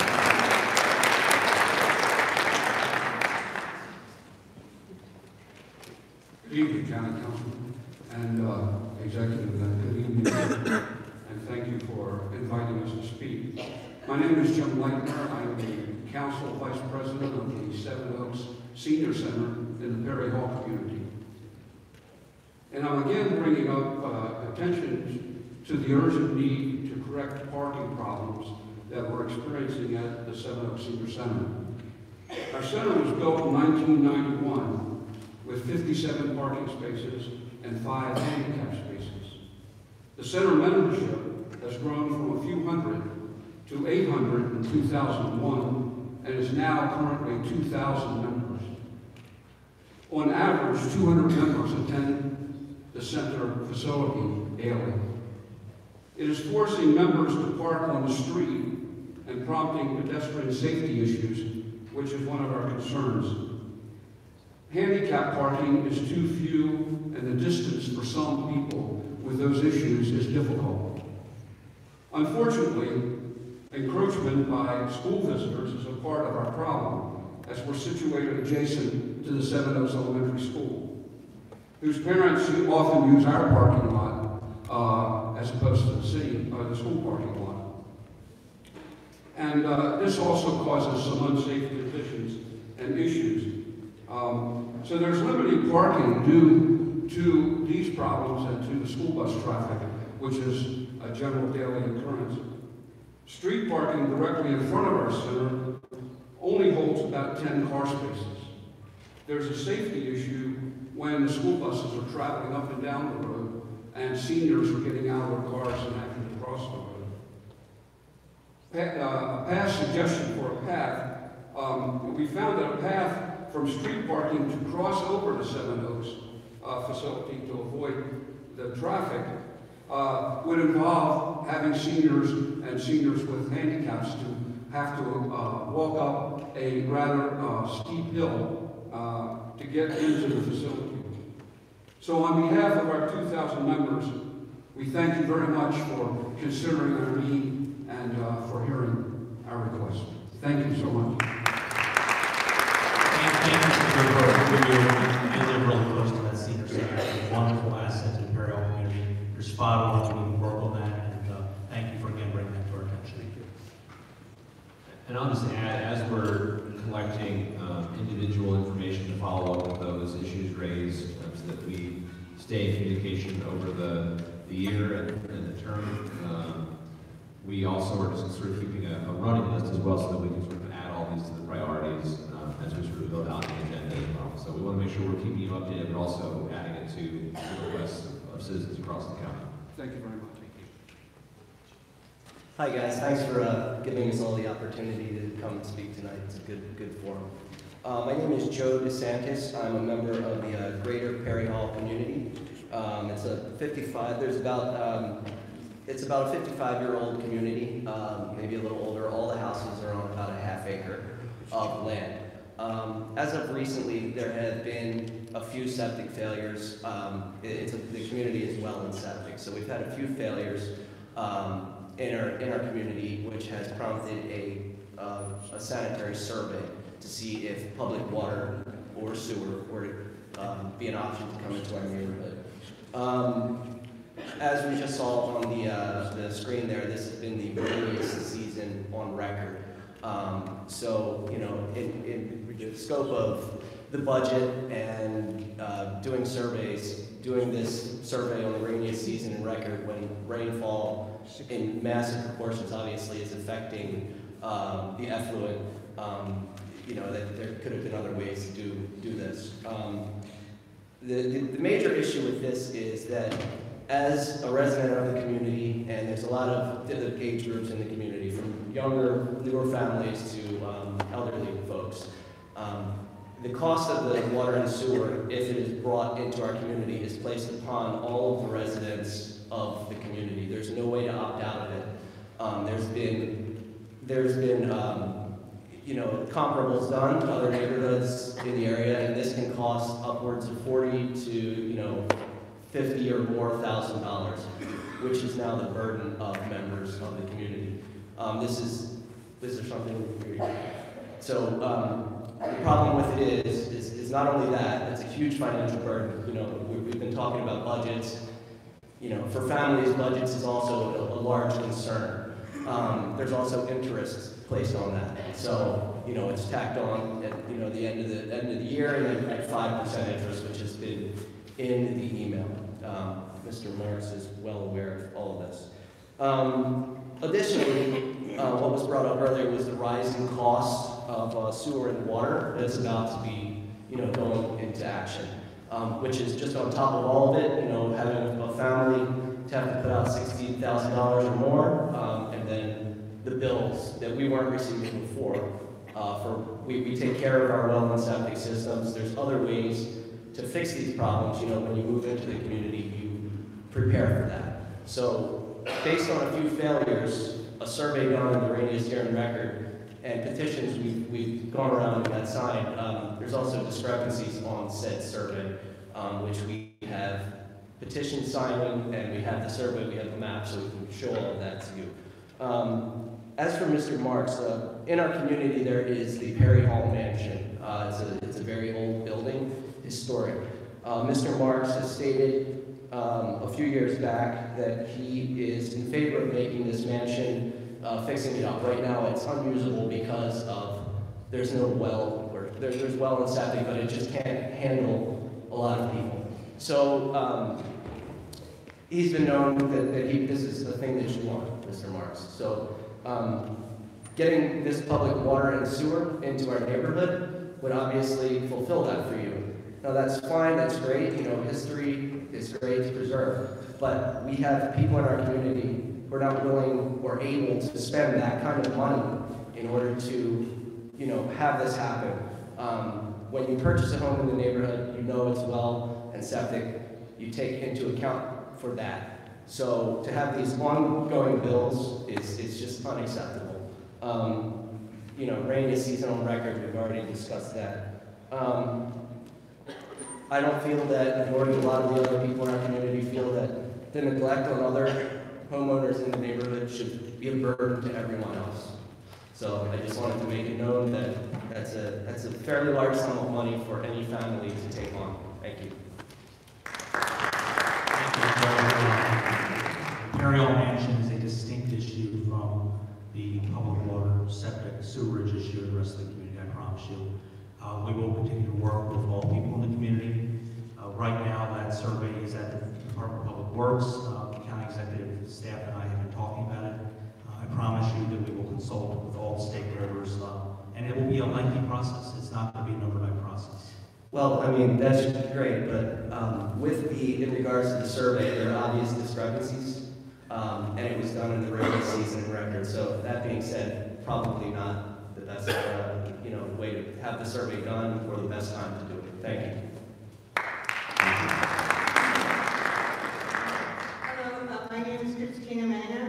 Resident of Perry Hall, as well as a representative of the Baltimore Transit Equity Coalition, Baltimore County, also known as BTEC.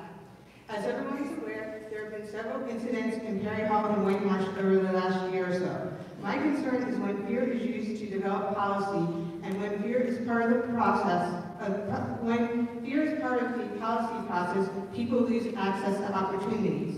In the case of trans transportation policy, if we as a community cut off or decrease public transportation, we will lose, people will lose their ability to travel back and forth from work, school, recreational activities, and important, uh, I'm sorry, and important appointments. We cannot use fear to drive policy or to solve deep-rooted issues within our communities. We need positive, constructive ways to expand and ensure accessibility. And I have a few suggestions in this regard. First of all, BTEC is working towards the establishment of a regional transit authority to create equitable public transit in the region, and we've had several summits and meetings over the past year.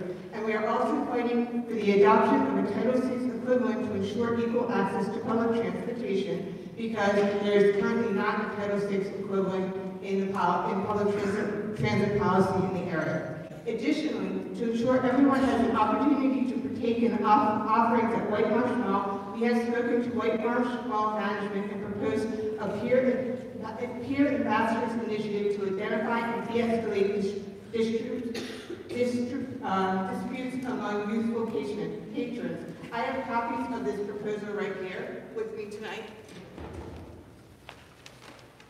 And then another, another proactive idea that enhances our communities rather than spreading fear is the development of activities for youth. You should be, youth should be involved in the decision-making process. Activities should be open to all youth, no matter where they live, and ideally, these activities would include a combination of recreational activities and work development programs.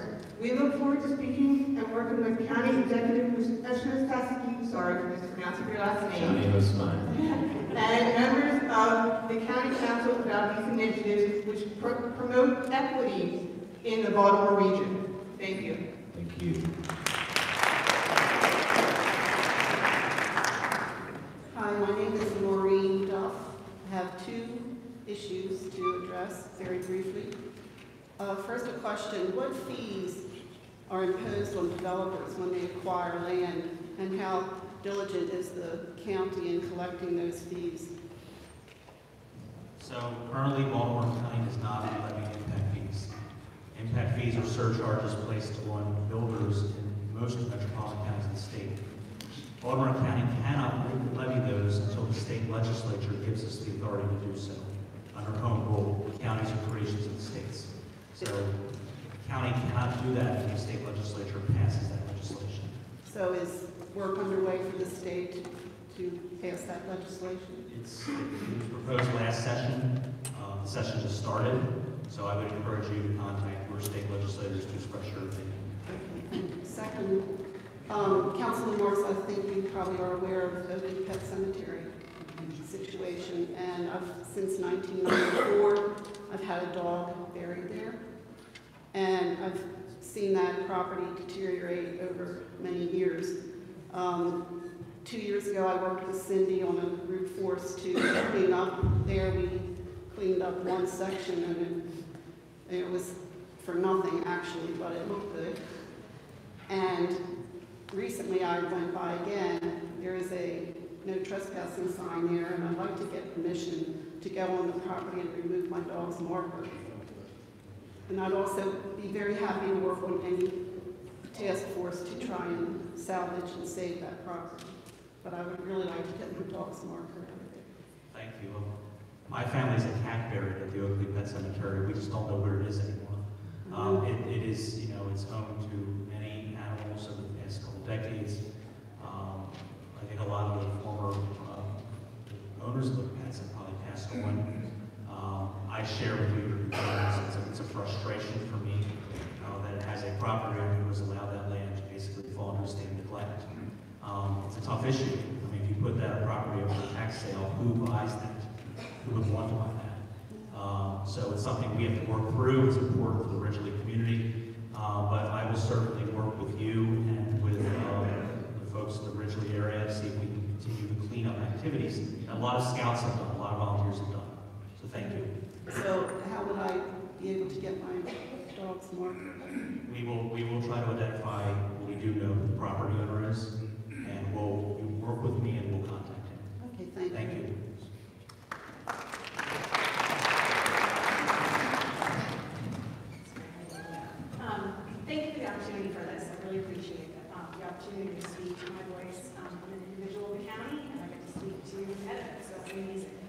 my name is Shan McDonald, and I live in the Nolan community of Towson.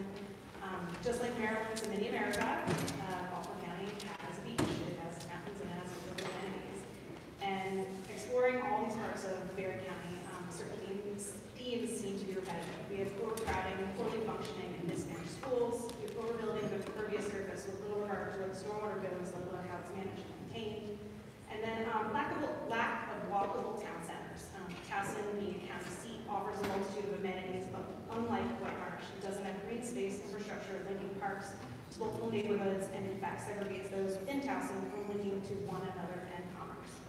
Um, my request for the county is to spend more money on our schools, redistribute the boundaries if the means are necessary to maintain quality education, afford opportunities for schools to add natural elements to the school property, add some trees, easily add trees, and let the kids use the land. This supports the same values as the pre-K program and without screens. Um, record rainfall is an apt term to use. We as a county need to accept that this is the new norm. Design standards need to change the development of land and maintenance and sustainability of those. Purchase, improve, and maintain green space in the county. Nothing says beauty more than trees, but not what's been swallowed up by invasive vines. Create parks, bike, and pedestrian connections linking communities and commodities. Support and fund green space like Radebaugh Neighborhood Park, Six Bridge Green Trail. More trees, more green infrastructure that are daylighted, not hidden below. Find a way to make downtown Towson green, not a gray concrete jungle as it stands today. My final request is for the county to refine the requirements for develop, developers to contribute to our public infrastructure and keep the money in the district where the work occurs. Plant trees where they were taken away. Thank you for your time. Thank you so much.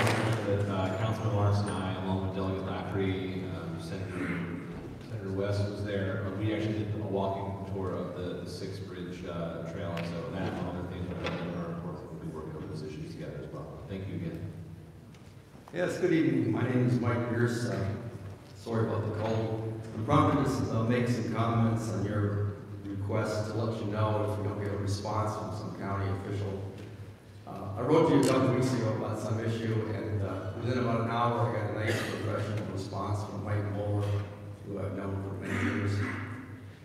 But on another occasion, shortly after you took office, I wrote to you to express my uh, sort of dissatisfaction with a specific, specific county official that I tried to work with for eight years uh, and never got through to. Um, I got a response, but I got it from that official who quoted my comment to you, and his comment to me was, well, that's not a very good way to uh, get a good working relationship. Uh, Of course, I sent the email to Johnny O at Baltimore County. So I guess it's no wonder, if that's the way things are gonna work in Towson, I guess it's no wonder that, as you said, a lot of county employees are afraid to raise issues that they see within their own departments. Uh, I, I hope this is going to change, and believe from what you said that this approach to dealing with things is going to change in your administration. Sure. Let me both be transparent and, and authentic. Um, I, I have um, an administrative person who helps me filter those emails, um, so I do not get to always personally respond to all of them. Um, that message would, should not have been forwarded to an individual, so let me apologize that it happened. Um, but I want you to know that it wasn't something that I, I did, but I own it because I'm the county executive, and so um, I want you to know that that's not the kind of approach we want. Um, we want citizens to be able to come to us with concerns.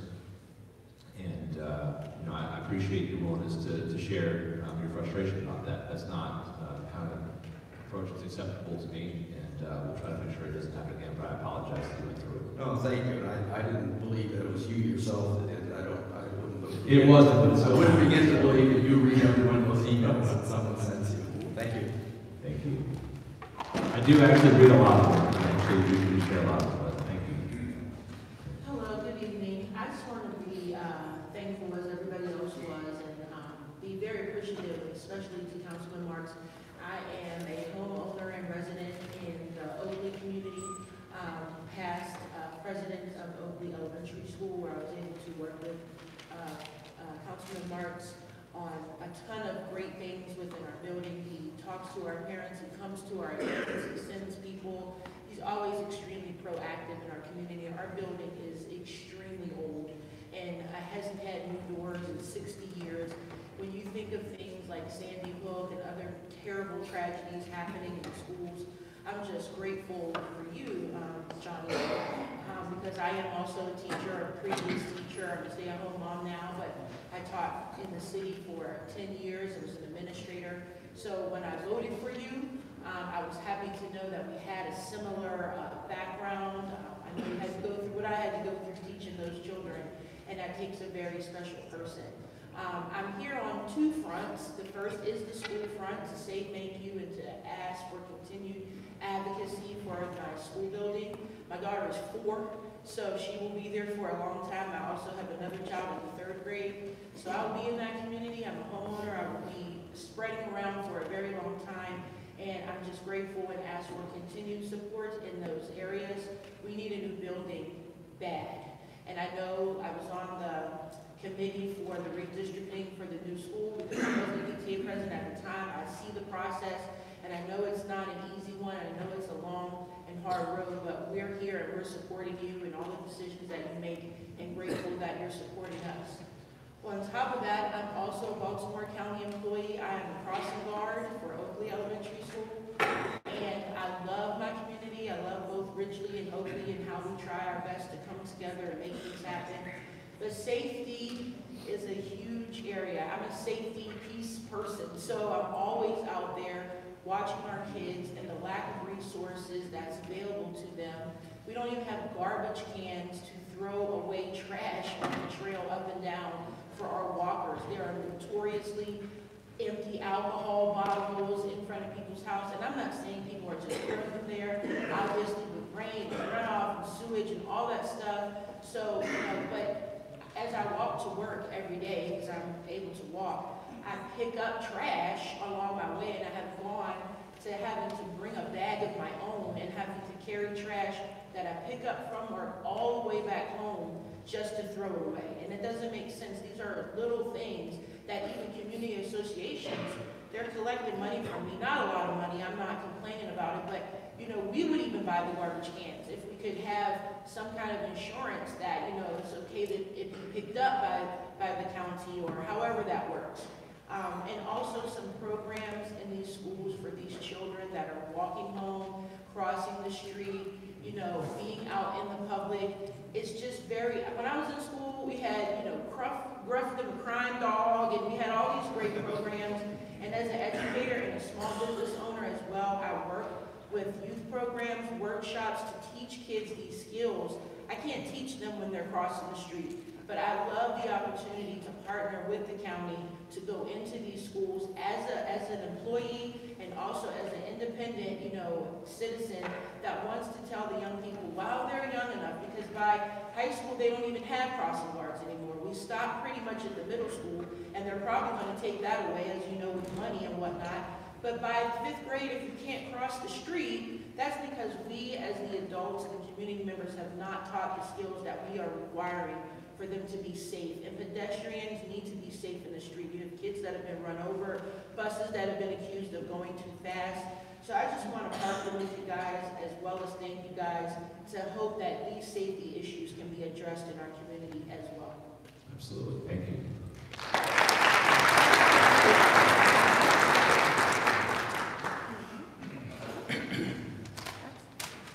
Good evening, Councilman um, Marks, Wojciechowski. We share a similar problem as our last name. Uh, My name is Thor Tryggvason. Uh, I live in Perry Hall, and um, uh, uh, first of all, I'd like to say Baltimore County is a great place to live in. Um, It's shown by influx of people moving to the county over the, over the years. Uh, You mentioned um, over the last 30 years, there's been an influx of people. Um, but that comes with a responsibility and uh, responsibility to fund uh, recreational facilities, schools, and infrastructure. Uh, Trailers have become permanent fixtures at many schools, not only in the northeast area where I live, but many other uh, schools. Uh, Perry Hall Middle School is severely overcrowded and has been for a long time. It is slated to be the largest school in the county with uh, almost uh, 2,100 students next fall, which is uh, 126% of capacity. Uh, It's slated to be larger than any high school in the county. All right. Now, um,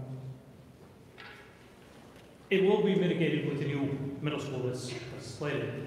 Uh, That's a few years down the road. Um, There's still immense pressure on the uh, elementary school system in the northeast area, even with the new uh, Honeygo Elementary School, we still are missing over thousand seats for elementary school level. So we could add another elementary school, and we would still have kids that are overcrowding our schools. Um, I would love to see the county create opportunities for uh, our rec councils to have training spaces. Uh, uh, Furthermore, I'd love to see a sportsplex in the uh, northeast area, fifth district, sixth dis- district area, forty-three, uh. Uh, I personally believe that it would attract um, sports uh, events to the area. Um, And you could um, use that for both rec programs and, and sports clubs. The only rec center, indoor rec center that I know of in the area is the Northeast Re- uh, Regional Rec Center, which was built uh, 46 years ago, taken over by the county in 2009. And simply not adequate as it is shared by nine different councils ranging from Towson up to Kingsville.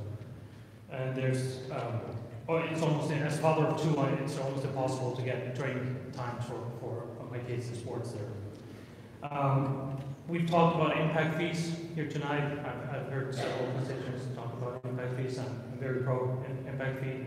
Um, Saw one of your slides that you, you don't want to leave money on the table. Uh, Baltimore County is the uh, only metropolitan county in the state of Maryland that does not have impact fees. And with that, uh, the county has left over $400 million on the table just for the past 10 years. So there's, there's lots of money on the table right there. And it doesn't affect current, um, current residents in the county, it's, it's only for uh, new development. Um, And it's great to hear that, that you're gonna look hard into spending and uh, priorities. And uh, I don't envy you and your colleagues of, of the position that you're in, of, of making sure that you spend the, the, the tax dollars as wisely as possible, but uh, I urge you to, to do that and, and look hard into it. Thank you. Or you, you were an example of engagement. Uh, Nottingham Middle School, whatever we're going to call it, is going to proceed because of people like you. Thank you for your advocacy. We're going to need it as we move forward. Thank you.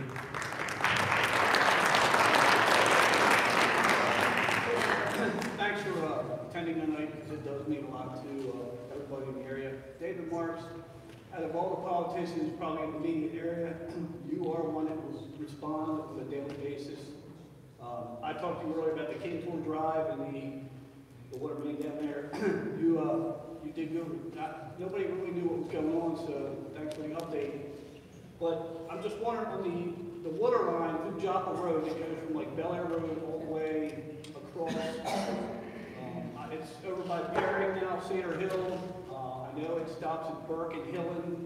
Um, I know it's a major project. I'm just wondering when it's going to be complete, or if you have an update. Um, Frankly, I'm nauseous to drive across Joppa Road because it's, it's, uh, and second of all, speed enforcement along Joppa Road. Um, I, I know I've questioned you about this before, but you sit up at the bus stop and cars drive down Joppa Road at 70 miles an hour. They should have an interstate sign up there instead of, you know, a 30 mile an hour zone. And I'm just wondering if there's any way we can get more speed enforcement, you know, protecting little kids that sit right along Joppa Road at the bus stop this morning. And the gentleman earlier about the bus driver, yeah, that, that's every day. They run, uh, there just needs to be more traffic enforcement in the high, uh, high traffic areas because it's just, uh, it- it's just, it's sad to watch it. I got a new driver in the family. He's afraid to go on Joppa Road because he's afraid he's going to get run over by somebody doing 75 mile an hour down there when it's, what, a 30 mile an hour zone, I think, most of Joppa Road. So I'm just wondering if you have any update on the water project and pavement of Joppa Road or uh, speed enforcement? Thank you. Thank, thank you very much. So the county completed a water project along Joppa Road. Uh, well, Joppa Road is the spine of the district. I, I drive that every day when I go to Towson. I live in Seven Oaks. Um, so the project was completed so late that, you know, major resurfacing did not occur. Um, and obviously, we're not going to be resurfacing until the spring comes. Uh, it illustrates point that we not only have to make with Baltimore County, but also with BGE uh, where sometimes BGE will come in once they lay their utility work, and they'll just put this patch along. Uh, and they'll say that's restoring a road to its previous condition. No, it's not. It makes driving conditions worse for everyone, and we need to require curb-to-curb servicing wherever possible. With regard to speed enforcement, um, I already mentioned how the county executive is working with the council to uh, increase the set-asides for traffic calming. Um, there's other things you can do. Uh, obviously, better police enforcement, takes police away from other responsibilities. Um, there's places you can have radar boards. Um, one of the ideas I like is putting these digital signs up that flash your speed as you go by. They don't ticket you, they flash your speed. And it's a simple reminder to motorists of the speed you're going. So there's a lot we can do. I think the county executive and I both agree we need a much more robust traffic calming policy that's more sensitive to neighborhoods. So thank you.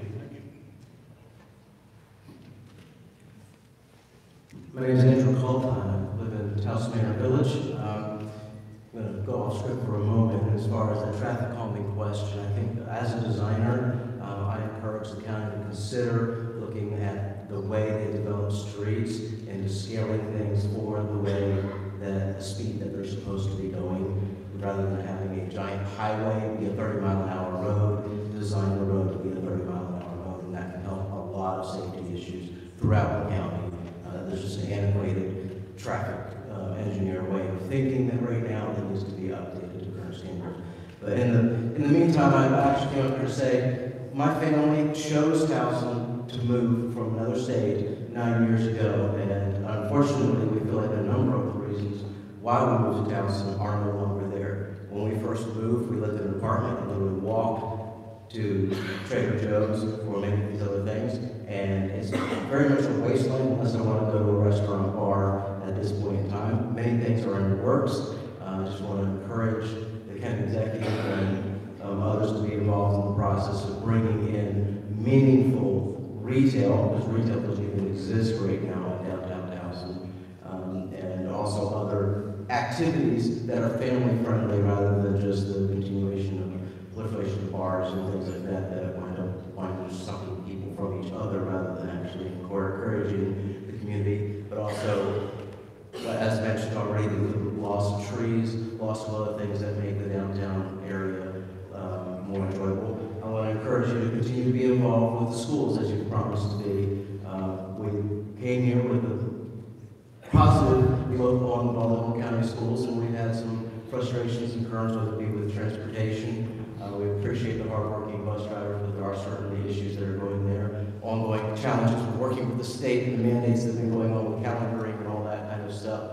Uh, that's a huge concern for us, as right now, my kids are already getting home at almost 4.30 each day. It's making it very difficult for us to get involved in any sort of after-school activities with our children. And if we have to add 10 minutes to our day, towards the end of the day, it's just not even going to be possible for us unless something happens somewhere else in the schedule.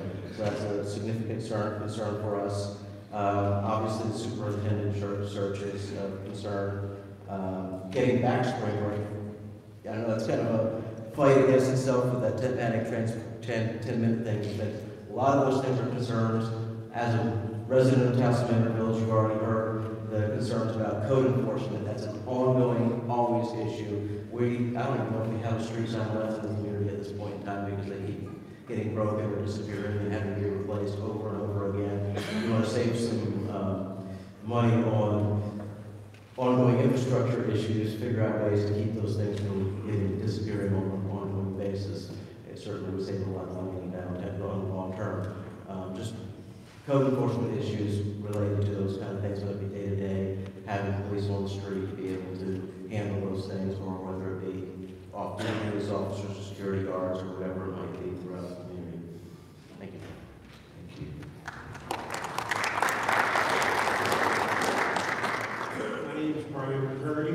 Um, I'm here to talk about Baltimore County Medical Services and the problem with current management. Um, Right now, their employees um, are afraid for their jobs if they ask questions. Having a great rapport with them and some of the volunteers. Um, I'm sure you've seen the report from the commission. Um, And I believe the current management um, is a vet, doctor, veterinarian. And I believe they also have taken an oath. But it's hard for me to believe the report that they authorized to send sixty guinea pigs at state to a snake farm for food as a way to solve the problem of adoption. Um, Also having cats released on county property without proper food and shelter.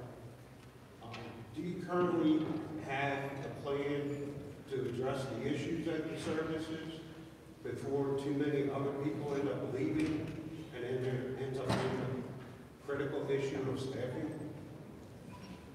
We are um, reviewing the information that's been provided to us and exploring um, several options at this point. We haven't made any any decisions, but I'm aware of the issues and concerns that have been raised, and I, and I share them. We're working on uh, a response at this point. Because I know currently there are people already looking for jobs. And if something's not done soon, I think you're going to have a shortage. And the animals are going to be the ones that suffer. Appreciate you. Thank you for your respect. Thank you.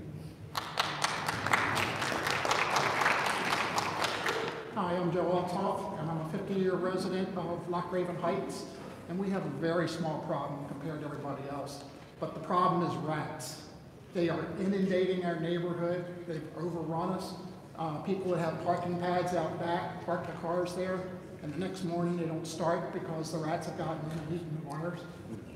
And um, it's, I put out every poison, you know, around my area that Home Depot or that sells, it's ineffective. My next door neighbor has had an exterminator put in boxes. Rats don't go near them. Um, and it seems like Baltimore County is part of the problem. You'll come in and clean out the sewers. And when you clean out the sewers, the rat population explodes. You'll come in and spray the neighborhoods in the alleys. It forces them up top towards the houses, you know, closer to the houses. You spray, you know, the, um, say below our neighborhood or above our neighborhood or east or west. It just moves you know, and it's, the problem is just uh, getting so bad that, you know, I think uh, we lost one neighbor because, you know, he was having too many car problems in the alley. So anything that you can do to organize this would be, uh, you know, we call code enforcement. You know, we identified a house in our neighborhood that had multiple rat holes. In fact, I watched a cat play whack-a-mole with them, you know, one evening, you know, right about sunset. And the county puts a notice on the door, comes back, I forget what the time period is. I think it's a couple weeks later, puts another notice on the door, and then they get another notice telling them, you know, that they have a court appearance, and then the whole process takes a summer, you know, to get something done. Ask you a question? How, how successful do you think the twice a week trash collection has been? I don't think that's the issue. I think the issue is uh, dog owners, they don't clean up the feces. I think it's people that don't use trash can lids, um, people that don't use trash cans at all. Um, it's a group, you know, it's a community thing where you have people that have switched, and I've talked to many people into getting metal trash cans. That seems to, solve part of the problem. I watched the trash man come up during the summer. He pulled a uh, lid off the trash can and the rat jumped out. You know, before he did, you know, before he did something, you know, with the can, he just pulled the lid off and the rat jumps out. Um, I don't know what the answer is, but, you know, I called the county a week ago and I said, is there someone that can come in and help me find where the burrows are, where I, you know, when I find them, you know, I'll stuff them with broken glass, with steel wool, patch it with concrete. You know, one time during the summer, I found a rat hole, I put a hose in it. It took 20 minutes before the water came out in the alley. Was that extensive? Huh? Was that extensive? Yes. Yeah, and I think you've identified that a lot of times the food sources issue, whether it's pet owners not cleaning up or, or the trash. And so we need to find more comprehensive ways to be responsive on the code enforcement front on things like animal uh, droppings, and then also find a way to have a, a process in place where we get, we get homeowners with, you know, uh, trash company type thing, Liz, and, and just to sort of continue the conversation, I'll, I'll just tell you, But I think when the county comes by, they have to get into the yards too. Sure. You know, it's like just to do the alleys, just forces them up closer to the homes. Can you, in terms of treatment, treat, in terms of treatments? Yes. Yeah. And So- um, I called an exterminator, he just told me I was wasting my money. And yet the camera You know, I have a security camera, that goes off a dozen times a night, you know, with the rats running through, right, you know, six feet from my door. We'll, we'll keep working with you. Thank you for your comments. Okay, thank you.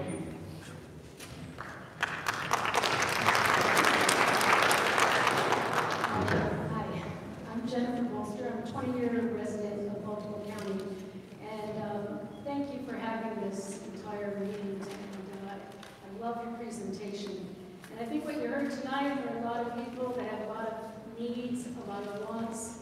And um, we talked about raising the impact fees for developers. I think that's an excellent idea. But there's an elephant in the room, not a lot of people left in the room, and nobody's talking about it, and that is we get what we pay for. And if you want Howard County schools, and Montgomery County bikeways, and Anne Arundel County parks, I think you have to also pay for it. And maybe, not maybe, don't take it off the table raising taxes. We haven't raised taxes in this county for over 20 years, and we've watched our schools deteriorate because of that.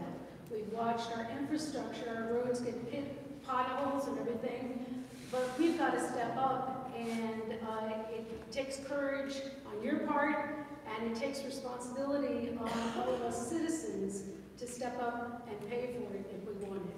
Thank you.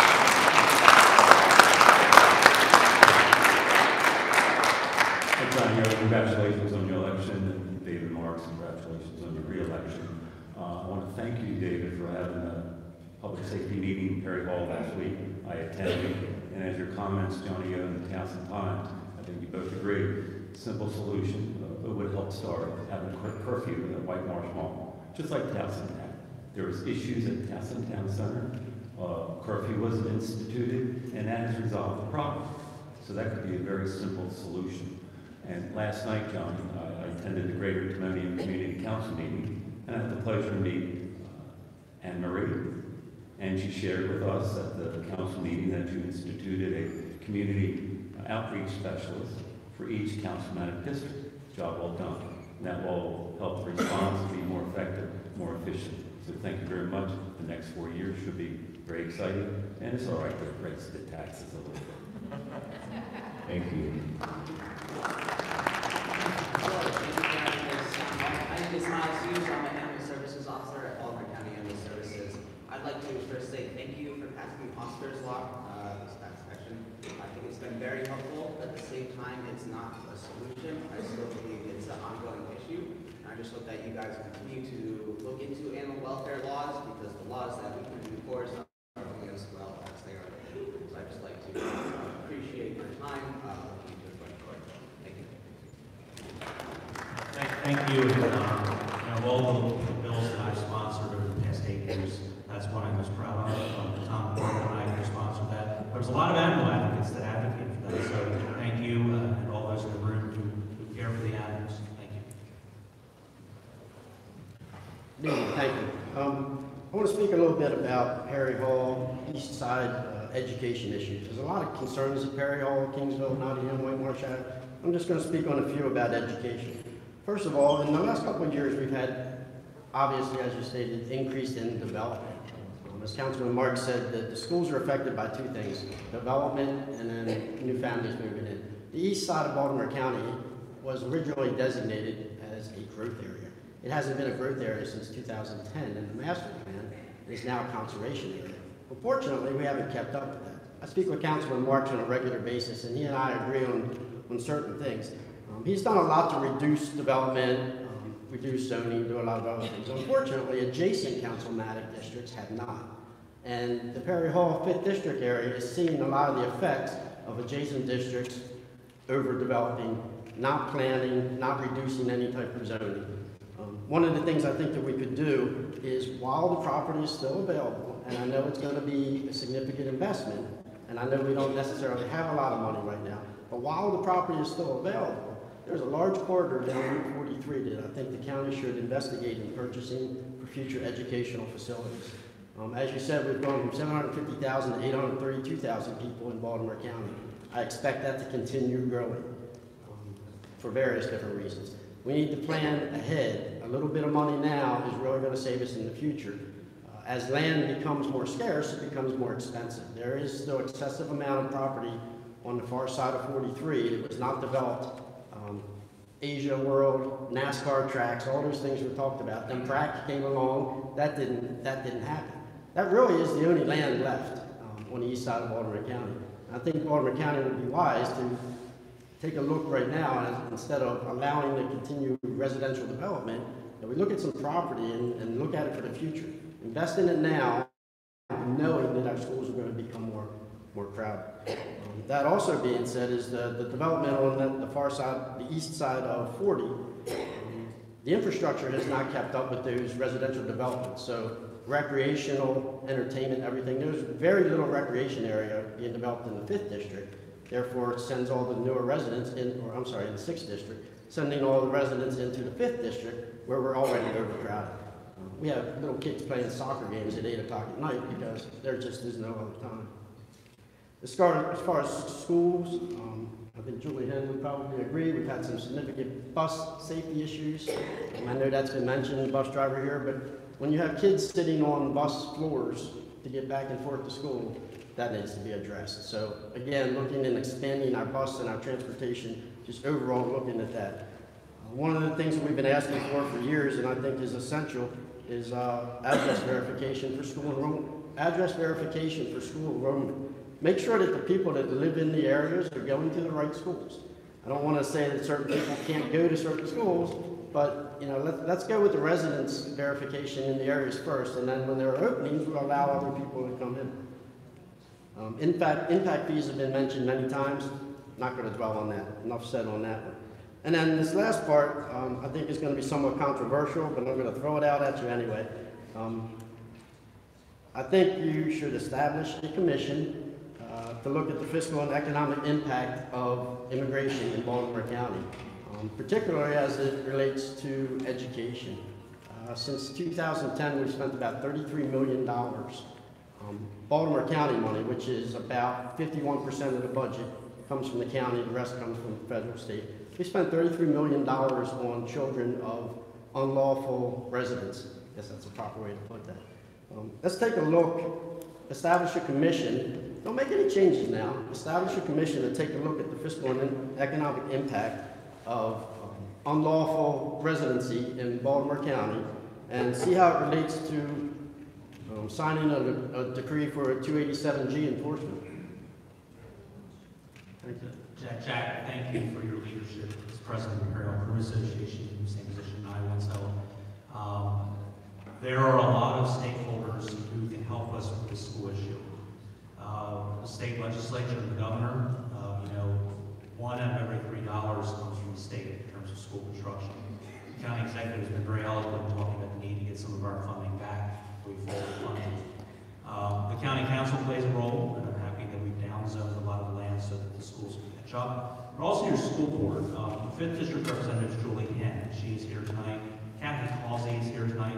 I want to tell you, one of the best things that happened the last election was the election of the school board. And uh, the county executive was a champion for this when he was a member of the House of Delegates. And you are seeing the results right now. You are seeing a school board that is more fiscally prudent and that is looking at things like residency and discipline and laptop computers. And I think they're going to be a real partner in this. So you brought up a lot of issues, and as someone else said, I think the stars are all aligning. We have the right people in place to make a difference. One of the key things, again, like I said, I, I, it is controversial, but uh, let's, let's establish a commission to look at 287G enforcement, some kind of agreement. Um, if that federal money is out there, I'm not saying take those 4,000 undocumented citizens, I'm not saying take them out of Baltimore County schools, but let's go after some federal funding to help support that $33 million that we're spending on these individuals instead of it coming out of Baltimore County's pockets. Thank you.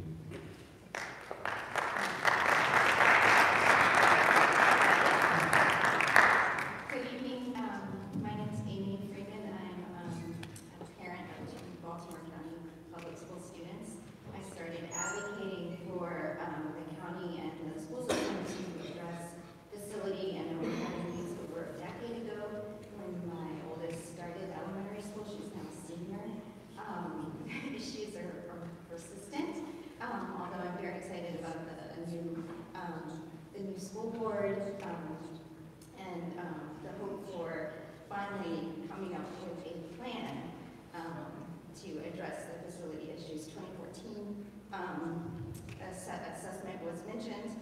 That was a plan was supposed to come out of that millions of dollars wasted in a 2014 plan when there's no plan to come of it. Um, the recent high school assessment that was done, um, I was part of the focus groups at the beginning, um, went to all the meetings, it's over a year in development, and at the most recent meeting, when the results were presented, the plan is that there really isn't a plan. Um, so again, it's not the quantity of funds that we're asking for, it's also the quality of how they're spent. Um, there are many additions, renovations, new schools that were funded that opened overcrowded. So again, the problem persists. Um, the other thing I wanted to ask of you is um, something that I've taken a um, personal um, plea. I know I spoke with um, David Marks earlier this school year. A couple of years ago, the state legislature passed a law that decreased the required number of fire drills that the schools had to do um, down to five. Um, our county school system does about 13. Um, it's a lot of time that is spent with these drills. I went to the school um, Office of Safety um, right after the legislation was passed to see what the school system was going to do. Um, they said it was up to the county. The county fire marshal told me, no, um, it's okay. You, you can move forward with removing that requirement, giving that time back to the classroom, to the teachers, to the school administrators, which is really important since we're adding the ALICE um, training. We still have the, um, the other drills that the schools are required to do. So if we can give any time back to the schools, it's really important. So I ask that you please, it's free, um, it's a win-win for everyone. If you can please work with the school system to um, make sure that they know and that they implement this reduced number of required fire drills. Thank you. Yeah, we can absolutely make sure we connect, connect our, uh, our fire chief and the school system to, to investigate that, so appreciate that. Yes. Hi, I'm GT Keplinger. I live in Towson Estates. Hi, David. Um, and I've been the president of two different community associations, and part of the reason I left Burkleigh Square, where I was the president seemingly forever, um, was because of the code enforcement issues. And I live in Towson Estates, and it, for all intents and purposes, it's like another planet in terms of the, we don't have any of the trouble that Burkleigh Square had. I don't know if anybody else has had BGE come in to do their gas lines. Anybody had that? It's been an absolute disaster. Our streets hadn't been paved since sometime in the early 1980s in Towson Estates. Um, they weren't great to begin with, but they're exponentially worse now. In between BGE, Riggs Distler, Mahoney, there's been no accountability, uh, accountability from anyone. Everybody else is like, well, that's their problem, that's their problem. Here we are with abysmal streets that are getting worse. All the, the patches that they've done, and I understand that you've been working on curb to curb replacement, which would be fantastic, but it's just, we've been asking to see who from the county has, has checked off on the work because we've been led to believe that someone from the county has approved the work. But I can't believe that in good conscience anybody could approve the work. And we're all taxpayers, and the streets are just a, in abysmal condition. And if possible, we'd like to try to arrange for someone to come look at the streets and say, this is totally unacceptable. We need to get on the list to have the, the streets resurfaced in the neighborhood. Yeah, we'll, we'll partner with the council's office to make sure that happens. Okay, thanks. Thank you. Hi, my name is Nancy Boyd, and I live in the Casino, on the Casino Circle. And I have been trying for years to get that parking area in front of the houses repaved. All I'm getting is people coming through from roads, patching the area, and that's just not, uh, act- that's not acceptable at all. And what's happening in the summertime, we get all of this green drainage behind the cars. Uh, to me, it's a safety, it's a hazard. I think it's a health hazard. And I would just love to have the roads repaved. I want to know where I'm on the list. They won't tell me where I'm on the list to have it repaved. And I've been in that community for over 30 years, and I'm still waiting to have the um, parking areas repaved. So, so I will tell you that, um, I've heard that frustration a lot, as, I know Councilman Marks has, and we are actually, one of the, one of the places we actually do great in Baltimore County are our roadways. So we're in active conversations about finding ways to try to get that information public, um, so that just like we're, we're pushing for a school facility plan, we can sort of prioritize and rank, um, our, our repavement needs and, and just sort of put that out there and be able to start quantifying when the project actually get done, so you have a better sense of where we are. Yes, I want it done this year.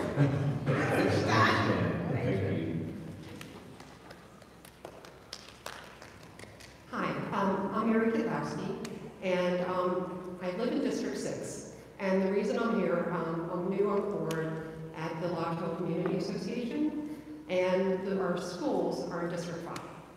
So to come, I don't know if there's anybody else in the audience from the community, but, um, and we'll, so we'll be here, um, we're going to attend the District 6 um, meeting also. But uh, Ca- Councilwoman Bevins attended our October meeting, and when we asked her about the school situation, she was not familiar with our schools. Um, So uh, she was kind enough to meet with three of us uh, this past Monday, and we're going to be reaching out to um, Ms. Henn uh, to, and Ms. Rowe to talk about our concerns. But we just wanted to come tonight and just state that even though we're in six, you know, we, we don't want to get forgotten uh, with the District Five schools. Thank you so much. Good evening, everyone. Um, I'm sorry for my voice on the screen. Fine. I want to look on the TV. Um, my name is Renetta Jackson. I actually live in Parkville, but I work in downtown Towson. Issues a little bit more challenging. I have a great concern for people of Maryland, um, as far as the pedestrians that actually have the walkway with the white signs where it has the signs telling everyone on both sides of the street to yield, and they won't yield for the pedestrians. Um, it's so severe where some of the pedestrians are even taking a walk out thinking that to make the traffic stop and they're not stopping.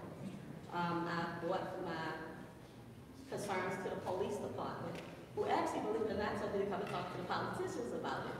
Because the signs are on both sides, and I mean, if one side stops and the person starts walking, the other side doesn't. So my great concern is that I don't want anyone to get hit, thinking that just because they're in the lines that they're gonna stop and they're not gonna stop. So that's one of my concerns. Um, and I'm coming on behalf of a multitude of people too. So some of the other questions we have, um, from talking to various people, I've never heard in my lifetime, and I'm fifty-two years old, have you ever heard anyone mention anything about a rental cap on properties? I mean, they speak about folks that not getting, um, you know, promotions and things like that, but the rental properties now are just as high as the mortgage properties, and sometimes twice or three times as more. So when you go in, the next time you go in, the other politicians come in, you mentioned, um, as far as someone putting a rental cap on rental properties or whether it's apartments or houses or townhouses. So that was one concern. The other concern that folks was bringing to me were, um, folks being charged for sewage and water that live in apartments. Is it a cap on the amount that they could be charged for that as far as Baldwin County? I'm, we'll make sure we get to the right answer. My understanding is that that's passed to the, owner, and then the property owner, and then they may or may not choose to pass that along in some, some form or fashion to the tenants. But we can, we can confirm that for you. Okay, so I'm going to speak as many places I need to as far as the safety of what I informed about the pedestrians. But do you have any suggestions? Well, if, I- so to start, if there are particular intersections you're concerned about, we can absolutely partner with the police department to have someone come out and do some enforcement. Um, And then long-term, we can talk with, um, uh, Public Works to maybe see if there are additional enhancements. You know that some places have the, the thing in the middle that says state law yield to pedestrians, it's not just the sign. Uh, There are particularly, you know, intersections that are particularly concerning. And then, uh, Sort of more generally to that point, I know that uh, the council has been supportive of this and actually moved more in this direction with the most recent uh, election, but actually having a standalone Department of Transportation, so we're more comprehensively looking at these issues is something I'd love to move sort of forward on in this term of office to create a standalone Department of Transportation, thinking about those issues as well as the other issues raised tonight about sustainability, walkability, bikeability. Okay, well, one of the biggest concerns right now that folks are talking about is Harford Road. So from Northern Parkway going towards Carney, it's a lot of little walkway signs, and you see the arrow, you see where it has the log there, so that's one of the We'll part of it to, to do some follow-ups. Thank you so much. Thank you so much. Good evening, Councilman and Exec. Thanks for coming out. Um, Nate, for those of you that don't know me, Nate Evans. I serve on the Baltimore County Bus and Advisory Committee. Uh, I've also made biking, walking, planning, and uh, design as part of my career. Not only because I love it and it's a great way to get around, but it also makes great places and we live in uh, Perry Hall, uh, lived here of my life, and it's, um, it's a great place to live, but it's definitely a hard place to walk and bike, as most of the county is. And that's just because of the county policies have been on the books for, you know, 50, 60 years. So I know both of you guys are already on board with, uh, pushing forward a lot more walking, biking, um, and trail projects. I just want to continue you guys uh, to, to move it on forward. And also to kind of help streamline and modernize a lot of our um, zoning and, and policy practices in the county. Uh, what we've seen, I've seen as the county advocate uh, for years is a lot of the plans are on the books and just ignored.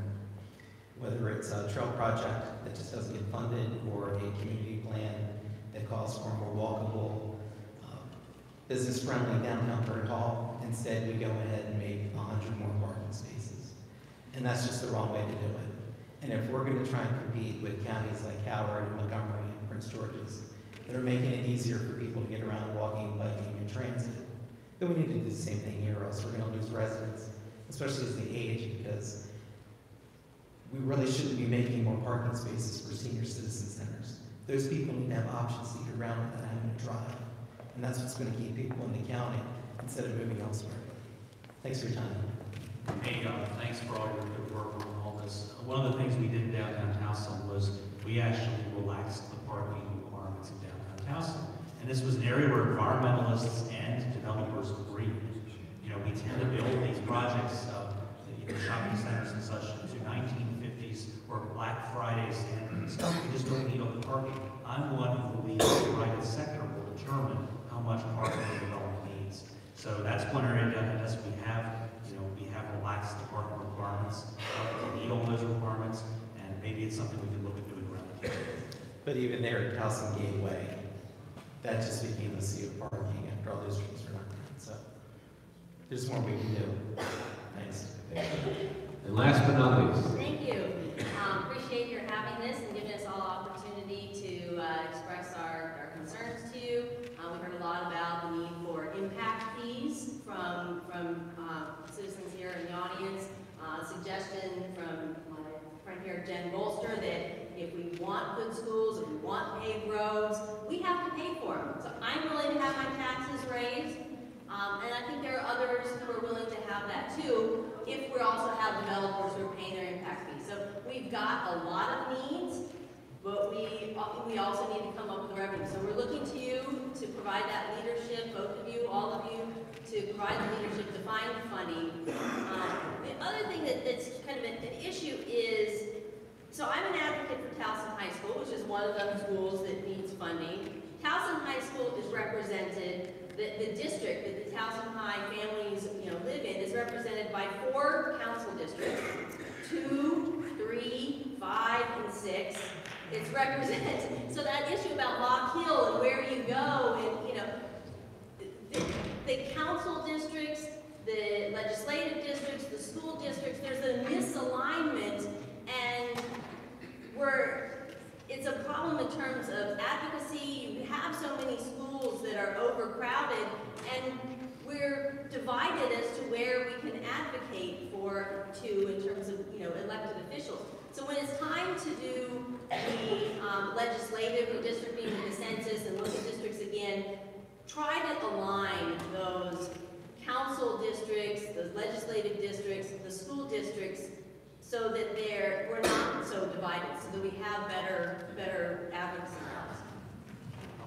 Thank you, thank you, Phoebe. Um, I'm actually one of those who took an unpopular position in advocating for increasing the size of the council from seven to nine. It requires a charter change, which, um, first you have to go through the council to get there, and we didn't have support of the council for that.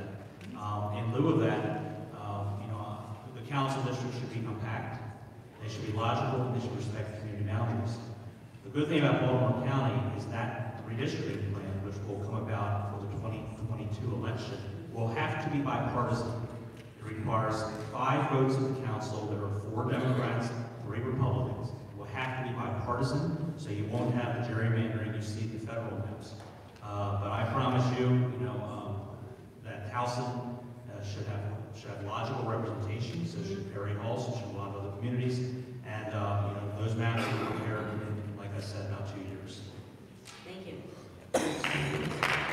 Um, those of you who who survived and lasted the whole time, thank you for, for sticking in. Um, Thank you for your advocacy.